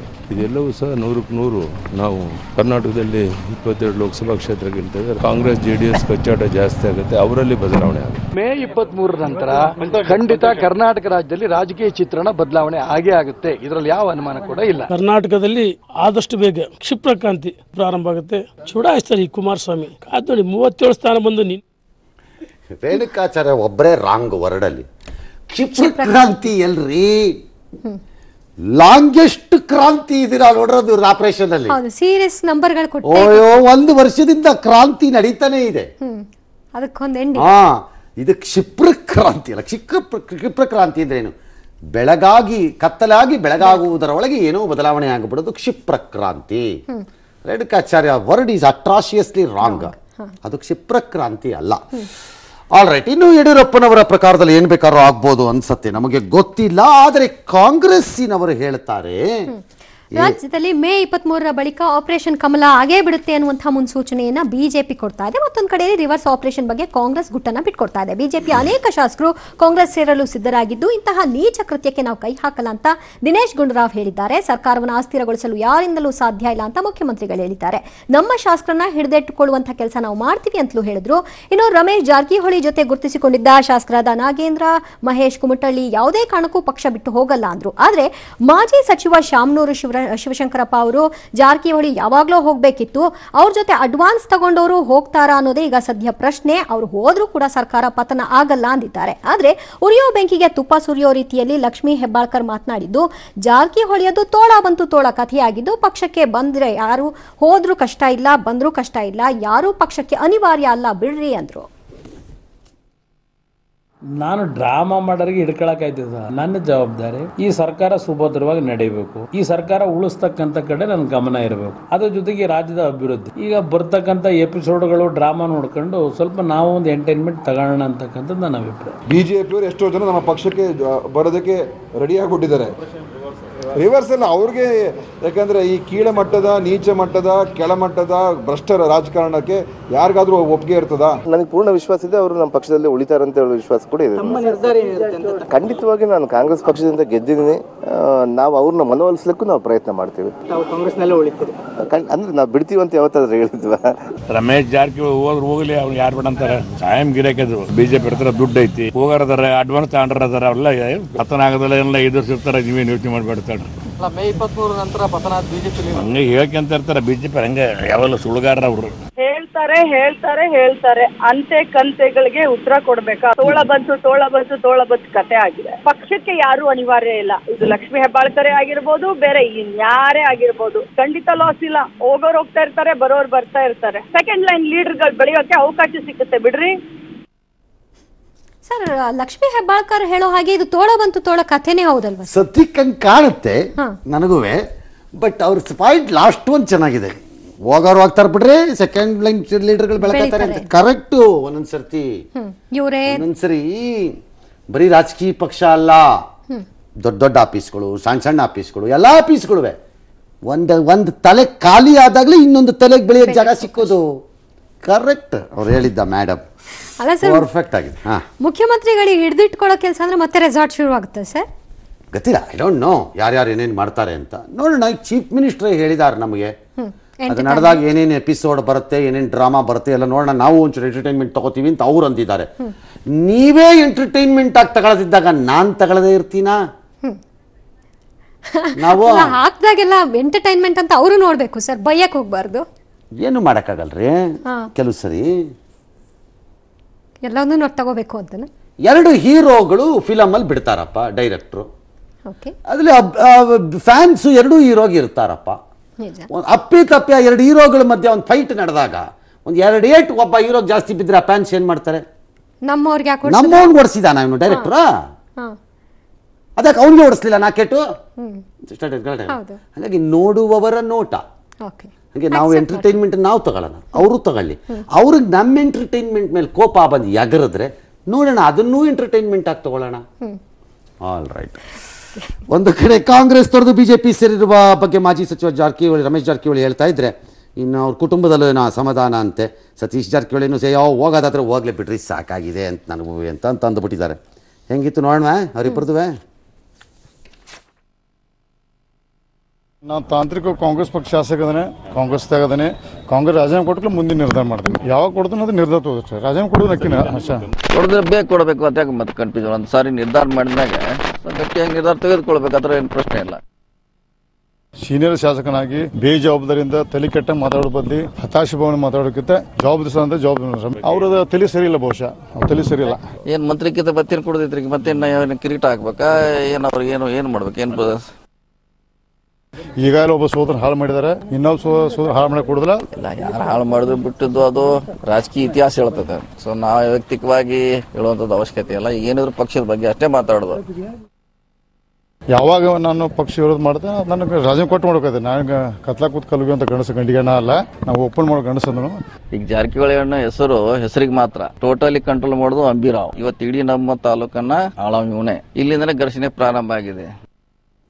ರೈಟ್ ಕುಟುಂಬ ಗಲಾಟೆ ಇದು ರಾಜಕೀಯ ಪಕ್ಷದ ಮೇಲೆ ಪರಿಣಾಮ. ಯಾವಾಗ ಕುಟುಂಬಗಳ ಹಿಡಿತಕ್ಕೆ ಪಕ್ಷಗಳು ಸಿಕ್ಕಾಕೊಳತ್ವೋ ಅಲ್ಲಿವರೆಗೂ ಇದನ್ನು ಅನುಭವಿಸಬೇಕು. ಎಲ್ಲ ಪಕ್ಷಗಳು ಅಷ್ಟೇ. ಕಾಂಗ್ರೆಸ್ ಆದರೂ ಅಷ್ಟೇ ಬಿಜೆಪಿ ಕುಟುಂಬಗಳ ಕೈಗೆ ಪಕ್ಷಗಳನ್ನು ಒಪ್ಸಿದ್ರೆ ಹಿಂಗೆ ಆಗೋದು. ಅಷ್ಟರ ಮಟ್ಟಿಗೆ ಅವತ್ತು ಹೇಳಿದ ಸಂತೋಷ್ ಕರೆಕ್ಟ್. ಏನಂತ? ಅದೇ ಡಿ ಎನ್ ಎ ಜೀನ್. ಆದ್ರೆ ಅಲ್ಲೂ ಬೇಕಾದ ರೀತಿ ಡಿ ಎನ್ ಎ ಜೀನ್ ಮಾಡ್ತೀರಿ. ಅದಕ್ಕೆ ಹಿಂಗಾಗೋದು. ಅಲ್ಲೇನು ಇಲ್ಲ ಅನ್ನಂಗೆ ಅದಕ್ಕೆ ಹಿಂಗಾಗೋದು. ಎಲ್ಲಿ ಅಲ್ಲಿ ನೀವು ಪಕ್ಷಿಗಳನ್ನು ತಗೊಂಡ್ಕೊಂಡೋಗಿ ಕುಟುಂಬಗಳ ಪಾದ ತಳದ ತಡಕ್ಕೆ ಅರ್ಪಿಸ್ತೀರೋ ಆಗ ಹಿಂಗೇ ಆಗೋದು. ಒಬ್ಬ ಅಯ್ಯೋ ಬಿಡ್ರಿ. ಒಳ್ಳೆ ಕಾತಿ ಆಯ್ತು. ನಾನ್ ಏನ ನನ್ನ ಮನೆ ಆಸ್ತಿ ಕಿತ್ಕೊಂಡು ಹೋಗೋ ಟೈಪ್ ಪ್ರಶ್ನೆ ಕೇಳ್ತೀರಿ ನೀವು.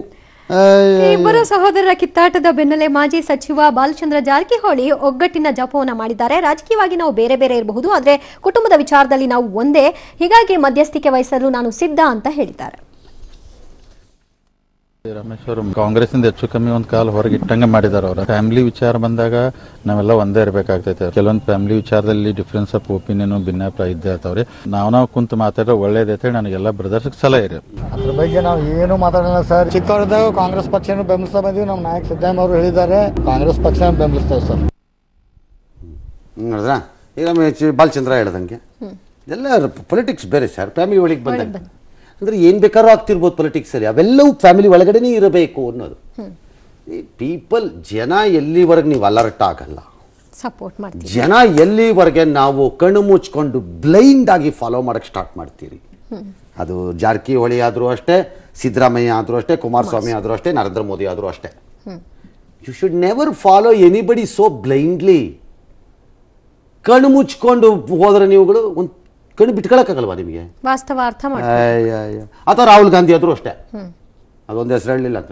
ರಂಗನಾಥ್. ಎಲ್ಲರೂ ರಾಹುಲ್ ಗಾಂಧಿ ಒಂದು ಹೆಸರು ಹೇಳಿಲ್ಲಪ್ಪ ಅನ್ಬೇಡಿ. ರಾಹುಲ್ ಗಾಂಧಿ ಆದರೂ ಅಷ್ಟೇ. ಎಲ್ಲರೂ ಅಷ್ಟೇ. ಬ್ಲೈಂಡ್ ಫಾಲೋಯರ್ಸ್ ಆಗ್ತಿದ್ದಾರೆ ನಮ್ಮಲ್ಲಿ ಜನ. ಅದು ಜಾತಿ ಮೇಲೋ ಕೋಮು ಮೇಲೆ ಅದ್ಯಾರ ಈಗ? ಅದರ ಕ ಅದಾದ ಗುಲ್ಬರ್ಗ ಪುಡಿ ರೌಡಿ ಕತೆ ಬಂತಲ್ಲ.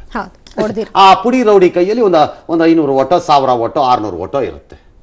ಅದಕ್ಕೆ ಎಂಜಲ್ ಸೇವೆಯನ್ನು ಮಾಡಿಸಿಕೊಳ್ಳಕ್ಕೆ ನಮ್ಮ ರಾಜಕಾರಣಿಗಳು ಕ್ಯೂ ನಿಂತ್ಕೋತಾರೆ ದಟ್ಸ್ ಆಲ್ ಎಲ್ಲಿವರೆಗೂ ಅವ್ರನ್ನ ಸಪೋರ್ಟ್ ಮಾಡ್ತಾರೆ ಒಂದು ವಿರಾಮ ವಾಪಸ್ ಬರ್ತೀವಿ. ಅಯ್ಯೋ ಅವ್ರ ಕುಟುಂಬದ ಕೈಲಿ ಪವರ್ ಇದ್ರಷ್ಟು ಇಲ್ದಿದ್ರಷ್ಟು. ಏನ್ ನಮ್ಮನೆ ನಾನು ದೋಸೆ ಮಾಡತ್ ನಿಲ್ಲತ್ತ? ಇಲ್ಲ ಅವ್ರ ಕುಟುಂಬದ ಹತ್ರ ಪವರ್ ಇದ್ರಷ್ಟು ಬಿಟ್ರಷ್ಟು. ಏನು ನನ್ನ ಮನೆಗೆ ಬಂದು ಅದಕ್ಕೇನಾದ್ರು ನಷ್ಟ ಆಗತ್ತಾ? ಯಾವುದೂ ಆಗಲ್ಲ. ಎಂಥದ್ದು ಆಗಲ್ಲ. ಆದರೆ ಇವರೆಲ್ಲರ ಈ ದುಷ್ಟ ರಾಜಕಾರಣದ ಇದನ್ನ ನಮ್ಮ ಕೈ ಕೈಗೆ ಸಿಕ್ಕಿದಾಗೆಲ್ಲ ತೋರಿಸ್ಬೇಕು. ಅಷ್ಟಕ್ಕೆ ಅವರು ಅವಕಾಶ ಮಾಡಿಕೊಡ್ತಾರೆ. ಅವರಿಗೆ ನಾವು ಧನ್ಯರು. ಕರ್ನಾಟಕದಲ್ಲಿ ಹೇಗೆ ಇವತ್ತು ಎರಡನೇ ಹಂತದ ಮತದಾನ ನಡೀತೋ ಹಾಗೆ ದೇಶಕ್ಕೆ ಇವತ್ತು ಮೂರನೇ ಹಂತದ ಮತದಾನ.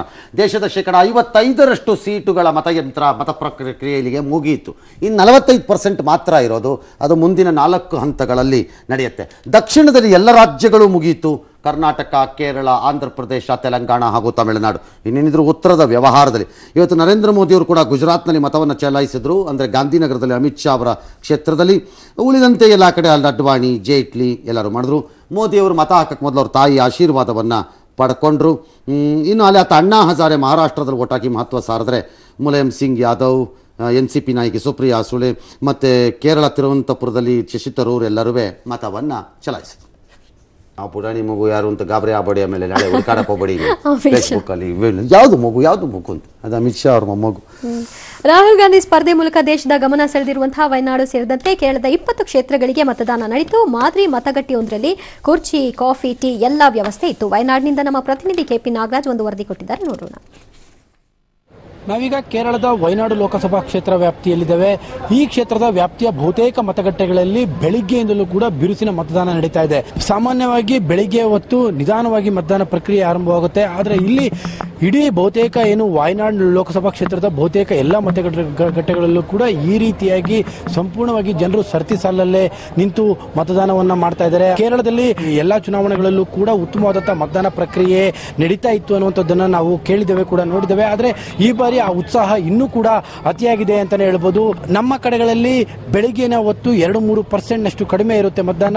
ಆದರೆ ಈ ಭಾಗದಲ್ಲಿ ಬೆಳಿಗ್ಗೆ ಒಂಬತ್ತು ಗಂಟೆ ಸುಮಾರಿಗೆ ಆಗಾಗಲೇ ಹನ್ನೊಂದು ಪರ್ಸೆಂಟ್ ನಷ್ಟು ಮತದಾನವಾಗಿರುವಂಥದ್ದನ್ನು ಗಮನಿಸಿದ್ರೆ ಈ ಭಾಗದ ಜನರಲ್ಲಿ ಎಷ್ಟರ ಮಟ್ಟಿಗೆ ಮತದಾನದ ಬಗ್ಗೆ ದೊಡ್ಡ ಮಟ್ಟದ ಜಾಗೃತಿ ಇದೆ ಮತ್ತು ಮತದಾನ ಮಾಡಬೇಕು ಎನ್ನುವಂತಹ ಕಮಿಟ್ಮೆಂಟ್ ಇದೆ ಅನ್ನುವಂಥದ್ದು ಮಾದರಿ ಮತಗಟ್ಟೆ ಅಂದ್ರೆ ಅವ್ರು ಏನ್ ಮಾಡಿದ್ದಾರೆ? ಮುಂದೆ ಜಾಗ ಮಾಡಿದ್ದಾರೆ. ಕುರ್ಚಿ ಹಾಕಿದ್ದಾರೆ. ಶಾಮಿಯಾನ ಹಾಕಿದ್ದಾರೆ. ನೀರ್ ಇಟ್ಟಿದ್ದಾರೆ. ಕಾಫಿ ಕೊಡ್ತಾ ಇದ್ದಾರೆ. ಟೀ ಕೊಡ್ತಿದ್ದಾರೆ. ಸ್ವಲ್ಪ ಫ್ಯಾನ್ ಗೀನ್ ಹಾಕಿದ್ದಾರೆ. ತಂಪ ಕೂತ್ಕೊಂಡು ಏನಂದ್ರೆ ಕ್ಯೂಲ್ ನಿಲ್ಬೇಡಿ ಯಾರು ಅಂತ. ಹೌದು. ಕುರ್ಚಿ ಟೋಕನ್ ಕೊಡ್ತಿದಾರಂತೆ.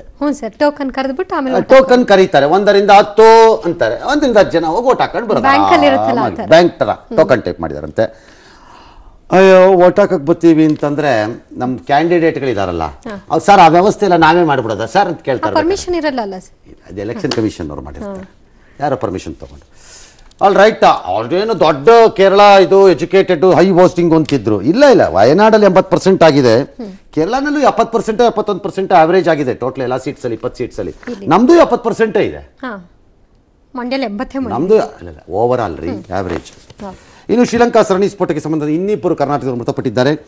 ಅಲ್ಲಿ ಎ. ಮಾರೇಗೌಡ ಹಾಗೂ ಪುಟ್ಟರಾಜು ಅನ್ನೋದು. ಅಲ್ಲಿಗೆ ಇಡೀ ತಂಡ, ಸ್ನೇಹಿತರ ತಂಡನೇ ಮುಗಿದೋಯ್ತು ಅಂತ ಕಾಣಿಸ್ತಾ ಇದೆ. ಎಲ್ಲರ ಮರಣೋತ್ತರ ಪರೀಕ್ಷೆ ಮುಗಿತಾ ಇದೆ. ಶವಗಳನ್ನು, ಮೃತದೇಹಗಳನ್ನು ಬೆಂಗಳೂರು ಕಡೆಗೆ ಕಳಿಸ್ಕೊಡ್ತಿದ್ದಾರೆ. ಒಬ್ಬರು ನಾಗರಾಜ್ ರೆಡ್ಡಿ ಅವರ ಮೃತದೇಹವನ್ನು ಈಗಾಗಲೇ ಬೆಂಗಳೂರಿಗೆ ತರಲಾಗಿದೆ. ಈ ವಿಧ್ವಂಸಕ ಕೃತ್ಯಕ್ಕೆ ಶಾಂಗ್ರಿಲಾ ಹೋಟ್ಲಿಗೆ ಇಬ್ಬರು ಮುಸ್ಲಿಂ ಸಹೋದರರಂತೆ ಅವರಿಬ್ಬರದ್ದು ಅವರಿಬ್ಬರದು ವಿಡಿಯೋ ಸಿಕ್ಕಿದೆ. ಐಸಿಸ್ ಹೊಣೆನ ಹೊತ್ಕೊಂಡಿದೆ. ನನ್ನ ಲೆಕ್ಕಾಚಾರದಲ್ಲಿ ಅದು ಬೋಗಸ್ ಕ್ಲೈಮ್ ಇದ್ದರೂ ಇರ್ಬೋದು ಐಸಿಸ್ದು ಬಿಕಾಸ್ ಅವ್ರಿಗೆ ಇದೊಂದು ಇದೊಂದು ಮಜಾ ಇದೆ ಅವ್ರಿಗೆ. ಇದ್ದಕ್ಕಿದ್ದಂತೆ ನಾವೇ ಮಾಡಿದ್ದು ಒಂದನ್ನು ದೊಡ್ಡ ದೊಡ್ಡದಂದ್ರೆ ನಾವು ಭಾಳ ಏನೇನೋ ಮಾಡಿಬಿಡ್ತೀವಿ ಅಂತ ಪೋಸ್ಟ್ ಕೊಡೋ ಗಿರಾಕಿಗಳವರು. ಹಾಗಾಗಿ ಇದು doubtful because they have not provided any evidence that they have done it ಅನ್ನೋಕ್ಕೆ. ಹಾಗಾಗಿ ಇನ್ನೂ ಈಗಲೇ ಹೇಳೋಕ್ಕಾಗಲ್ಲ ಐಸಿಸ್ ಅಂತ. ಅವ್ರು ಹೇಳ್ಕೊಂಡಿರ್ಬೋದು ಅಷ್ಟೇ. ಬಟ್ ಅಂತಾರಾಷ್ಟ್ರೀಯ ನೆರವು ಇದಕ್ಕೆ ಸಿಕ್ಕಿದೆ ಅನ್ನೋದು ಮಾತ್ರ ಗೊತ್ತಾಗಿದೆ. ಒಟ್ಟಿನಲ್ಲಿ ಮುನ್ನೂರೈವತ್ತ ಎರಡಕ್ಕೆ ಹೋಗಿದೆ ಸಾವಿನ ಸಂಖ್ಯೆ. ಇನ್ನೊಬ್ಬ ಬಂದು ನಾಗರಾಜ್ ರೆಡ್ಡಿ ಅವ್ರದ್ದು ಬಾಡಿ ಸಿಗಲಿಲ್ಲ ಮಿಸ್ಸಿಂಗಲ್ಲೇ ಇತ್ತು. ಸೊ ನಾವೆಲ್ಲ ಆಸ್ಪತ್ರೆಗಳಲ್ಲೇ ಹುಡುಕಿ, ಕೊನೆಗೆ ನಿನ್ನೆ ಮಧ್ಯಾಹ್ನ ಟ್ರೇಸ್ ಆಯಿತು. ಅದು ಅವರು ಸತ್ತೋಗಿದ್ದಾರೆ ಅಂತೇಳಿ. ಸೊ ಅದನ್ನು ತೆಗೆದು ಫಾರ್ಮಾಲಿಟೀಸ್ ಎಲ್ಲ ಮುಗಿಸಿ, ಈಗ ನಾವು ಶವವನ್ನು ತಗೊಂಬಂದಿದ್ದೀವಿ ಬಾಡಿಯನ್ನು ತಗೊಂಬಂದಿದ್ದೀವಿ ಈಗ. ನಾಳೆ ಬೆಳಗ್ಗೆ ಹನ್ನೊಂದುವರೆಗೆ ಶವ ಸಂಸ್ಕಾರ ಮಾಡ್ತಾ ಇದ್ದೀವಿ. ಸೊ ಉಳಿಕೆಯವರದು ಕೂಡ ನಾವು ಬೆಳಗ್ಗೆ ಇನ್ನೂ ಏಳು ಜನದ್ದು ಕೂಡ ನಾನು ಇದ್ದೆ. ನಾನು ಇ ಕೃಷ್ಣಪ್ಪ ಅವರು ಮತ್ತು ನೆಲಮಂಗಲದ ಶಾಸಕರು ಮತ್ತು ಸ್ನೇಹಿತರೆಲ್ಲ ಇದ್ವಿ. ಸೊ ಏಳು ಬಾಡಿ ಚೌಕಿದಾರ್ ಚೋರ್ ಹೈ ಎಂತಿದ್ದ ರಾಹುಲ್ ಗಾಂಧಿಗೆ ಸುಪ್ರೀಂ ಕೋರ್ಟ್ ನ್ಯಾಯಾಂಗನಿಂದನೇ ನೋಟಿಸ್ ಕೊಟ್ಟಿದ್ದಾರೆ. ಅವ್ರು ನಿನ್ನೆ ನಾನು ವಿಷಾದ ವ್ಯಕ್ತಪಡಿಸ್ತೀನಿ ಅಂತಿದ್ರು ಕೋರ್ಟ್ ಒಪ್ಪಿಲ್ಲ. ವಿಷಾದ ಪಶಾದ ಇಲ್ಲ. ಬೇಡ. ತಗೊಳ್ರಿ ನೋಟಿಸ್ ಒಂದು ಅಂತ ಕೊಟ್ಟೇ ಬಿಟ್ಟಿದ್ದಾರೆ. ಈಗ ಈಗ ಅದೇನು ಮಾಡ್ತಾರೋ ಏನೋ ಮುಂದಕ್ಕೆ ಗೊತ್ತಿಲ್ಲ. ಆದರೆ ಅವರು ಮಾತ್ರ ಅದನ್ನು ಬಿಡ್ತಾನೇ ಇಲ್ಲ. ಇನ್ನೆಲ್ಲೆಲ್ಲೆಲ್ಲೋ ಭಾಷಣದಲ್ಲಿ ಮತ್ತೆ ಹೇಳಕ್ಕೆ ಸ್ಟಾರ್ಟ್ ಮಾಡಿದ್ದಾರೆ. ಚೌಕಿದಾರ್ ಚೋರ್ ಹೈ ಅಂತೆಲ್ಲ ಹೇಳಕ್ಕೆ ಹೊರಟಿದ್ದಾರೆ. ಇದು ಮುಂದೆ ಯಾವುದೋ ಒಂದು ವಿಕೋಪಕ್ಕೆ ಹೋಗುತ್ತೆ ಅಂತ ಕಾಣುತ್ತೆ. ಈ ಮಧ್ಯೆ ಇವತ್ತು ರಾಹುಲ್ ಗಾಂಧಿ ಅವರು ಮಧ್ಯಪ್ರದೇಶದಲ್ಲೆಲ್ಲ ಭಾಷಣ ಮಾಡುವಾಗ ಹೊಸದೊಂದು ಮೈ ಮೇಲೆ ಹೇಳ್ಕೊಂಡಂಗೆ ಕಾಣಿಸ್ತಾ ಇದೆ. Murder accused B J P president ಅಂತ ಅಮಿತ್ ಶಾಗೆ. ಈಗ ಬಿ ಜೆ ಪಿಯವರು ಅದಕ್ಕೆ ಬಂದು ಪರ್ಚಕ್ಕೆ ಸ್ಟಾರ್ಟ್ ಮಾಡಿದ್ದಾರೆ ಈಗ. ಬಾಪ್ಪ ಇನ್ನೊಂದು ಕಾದಿದೆ ನಿಮಗೆ. ಎಲ್ಲ ಇನ್ನೊಂದು ನೋಟಿಸು ಅಂತ ಏನೋ ಕಾಯ್ತಾ ಇದ್ದಾರೆ ಈಗ. ಒಟ್ಟಲ್ಲಿ ಇದು ಏನು ಕತೆನೋ? ನಾಳೆ ವರನಟ ಡಾಕ್ಟರ್ ರಾಜ್ಕುಮಾರ್ ಅವರ ಹುಟ್ಟುಹಬ್ಬ. ಈ ಹಿನ್ನೆಲೆಯಲ್ಲಿ ರಾಜ್ಯ ಸರ್ಕಾರವೇ ರಾಜ್ ಹುಟ್ಟುಹಬ್ಬವನ್ನು ಆಚರಿಸುತ್ತೆ ಅಂತ ಸಿಎಂ ಕುಮಾರಸ್ವಾಮಿ ಅವರು ಟ್ವೀಟ್ ಮಾಡಿದ್ದಾರೆ. ರಾಜ್ಕುಮಾರ್ ಹುಟ್ಟುಹಬ್ಬ ಕುರಿತು ಒಂದು ದಿನದ ಮುಂಚಿತವಾಗಿಯೇ ಶುಭ ಕೋರಿದ್ದಾರೆ. ಇಲ್ಲಿಗೆ ಇವತ್ತಿನ ಬಿಗ್ ಬುಲೆಟಿನ್ ಮುಗಿಸ್ತಾ ಇದ್ದೀವಿ. ಹೋಗ್ಬಿಟ್ಟು ಬರ್ತೀವಿ. ನಮಸ್ಕಾರ. ಗುಡ್ ನೈಟ್ ಶುಭರಾತ್ರಿ.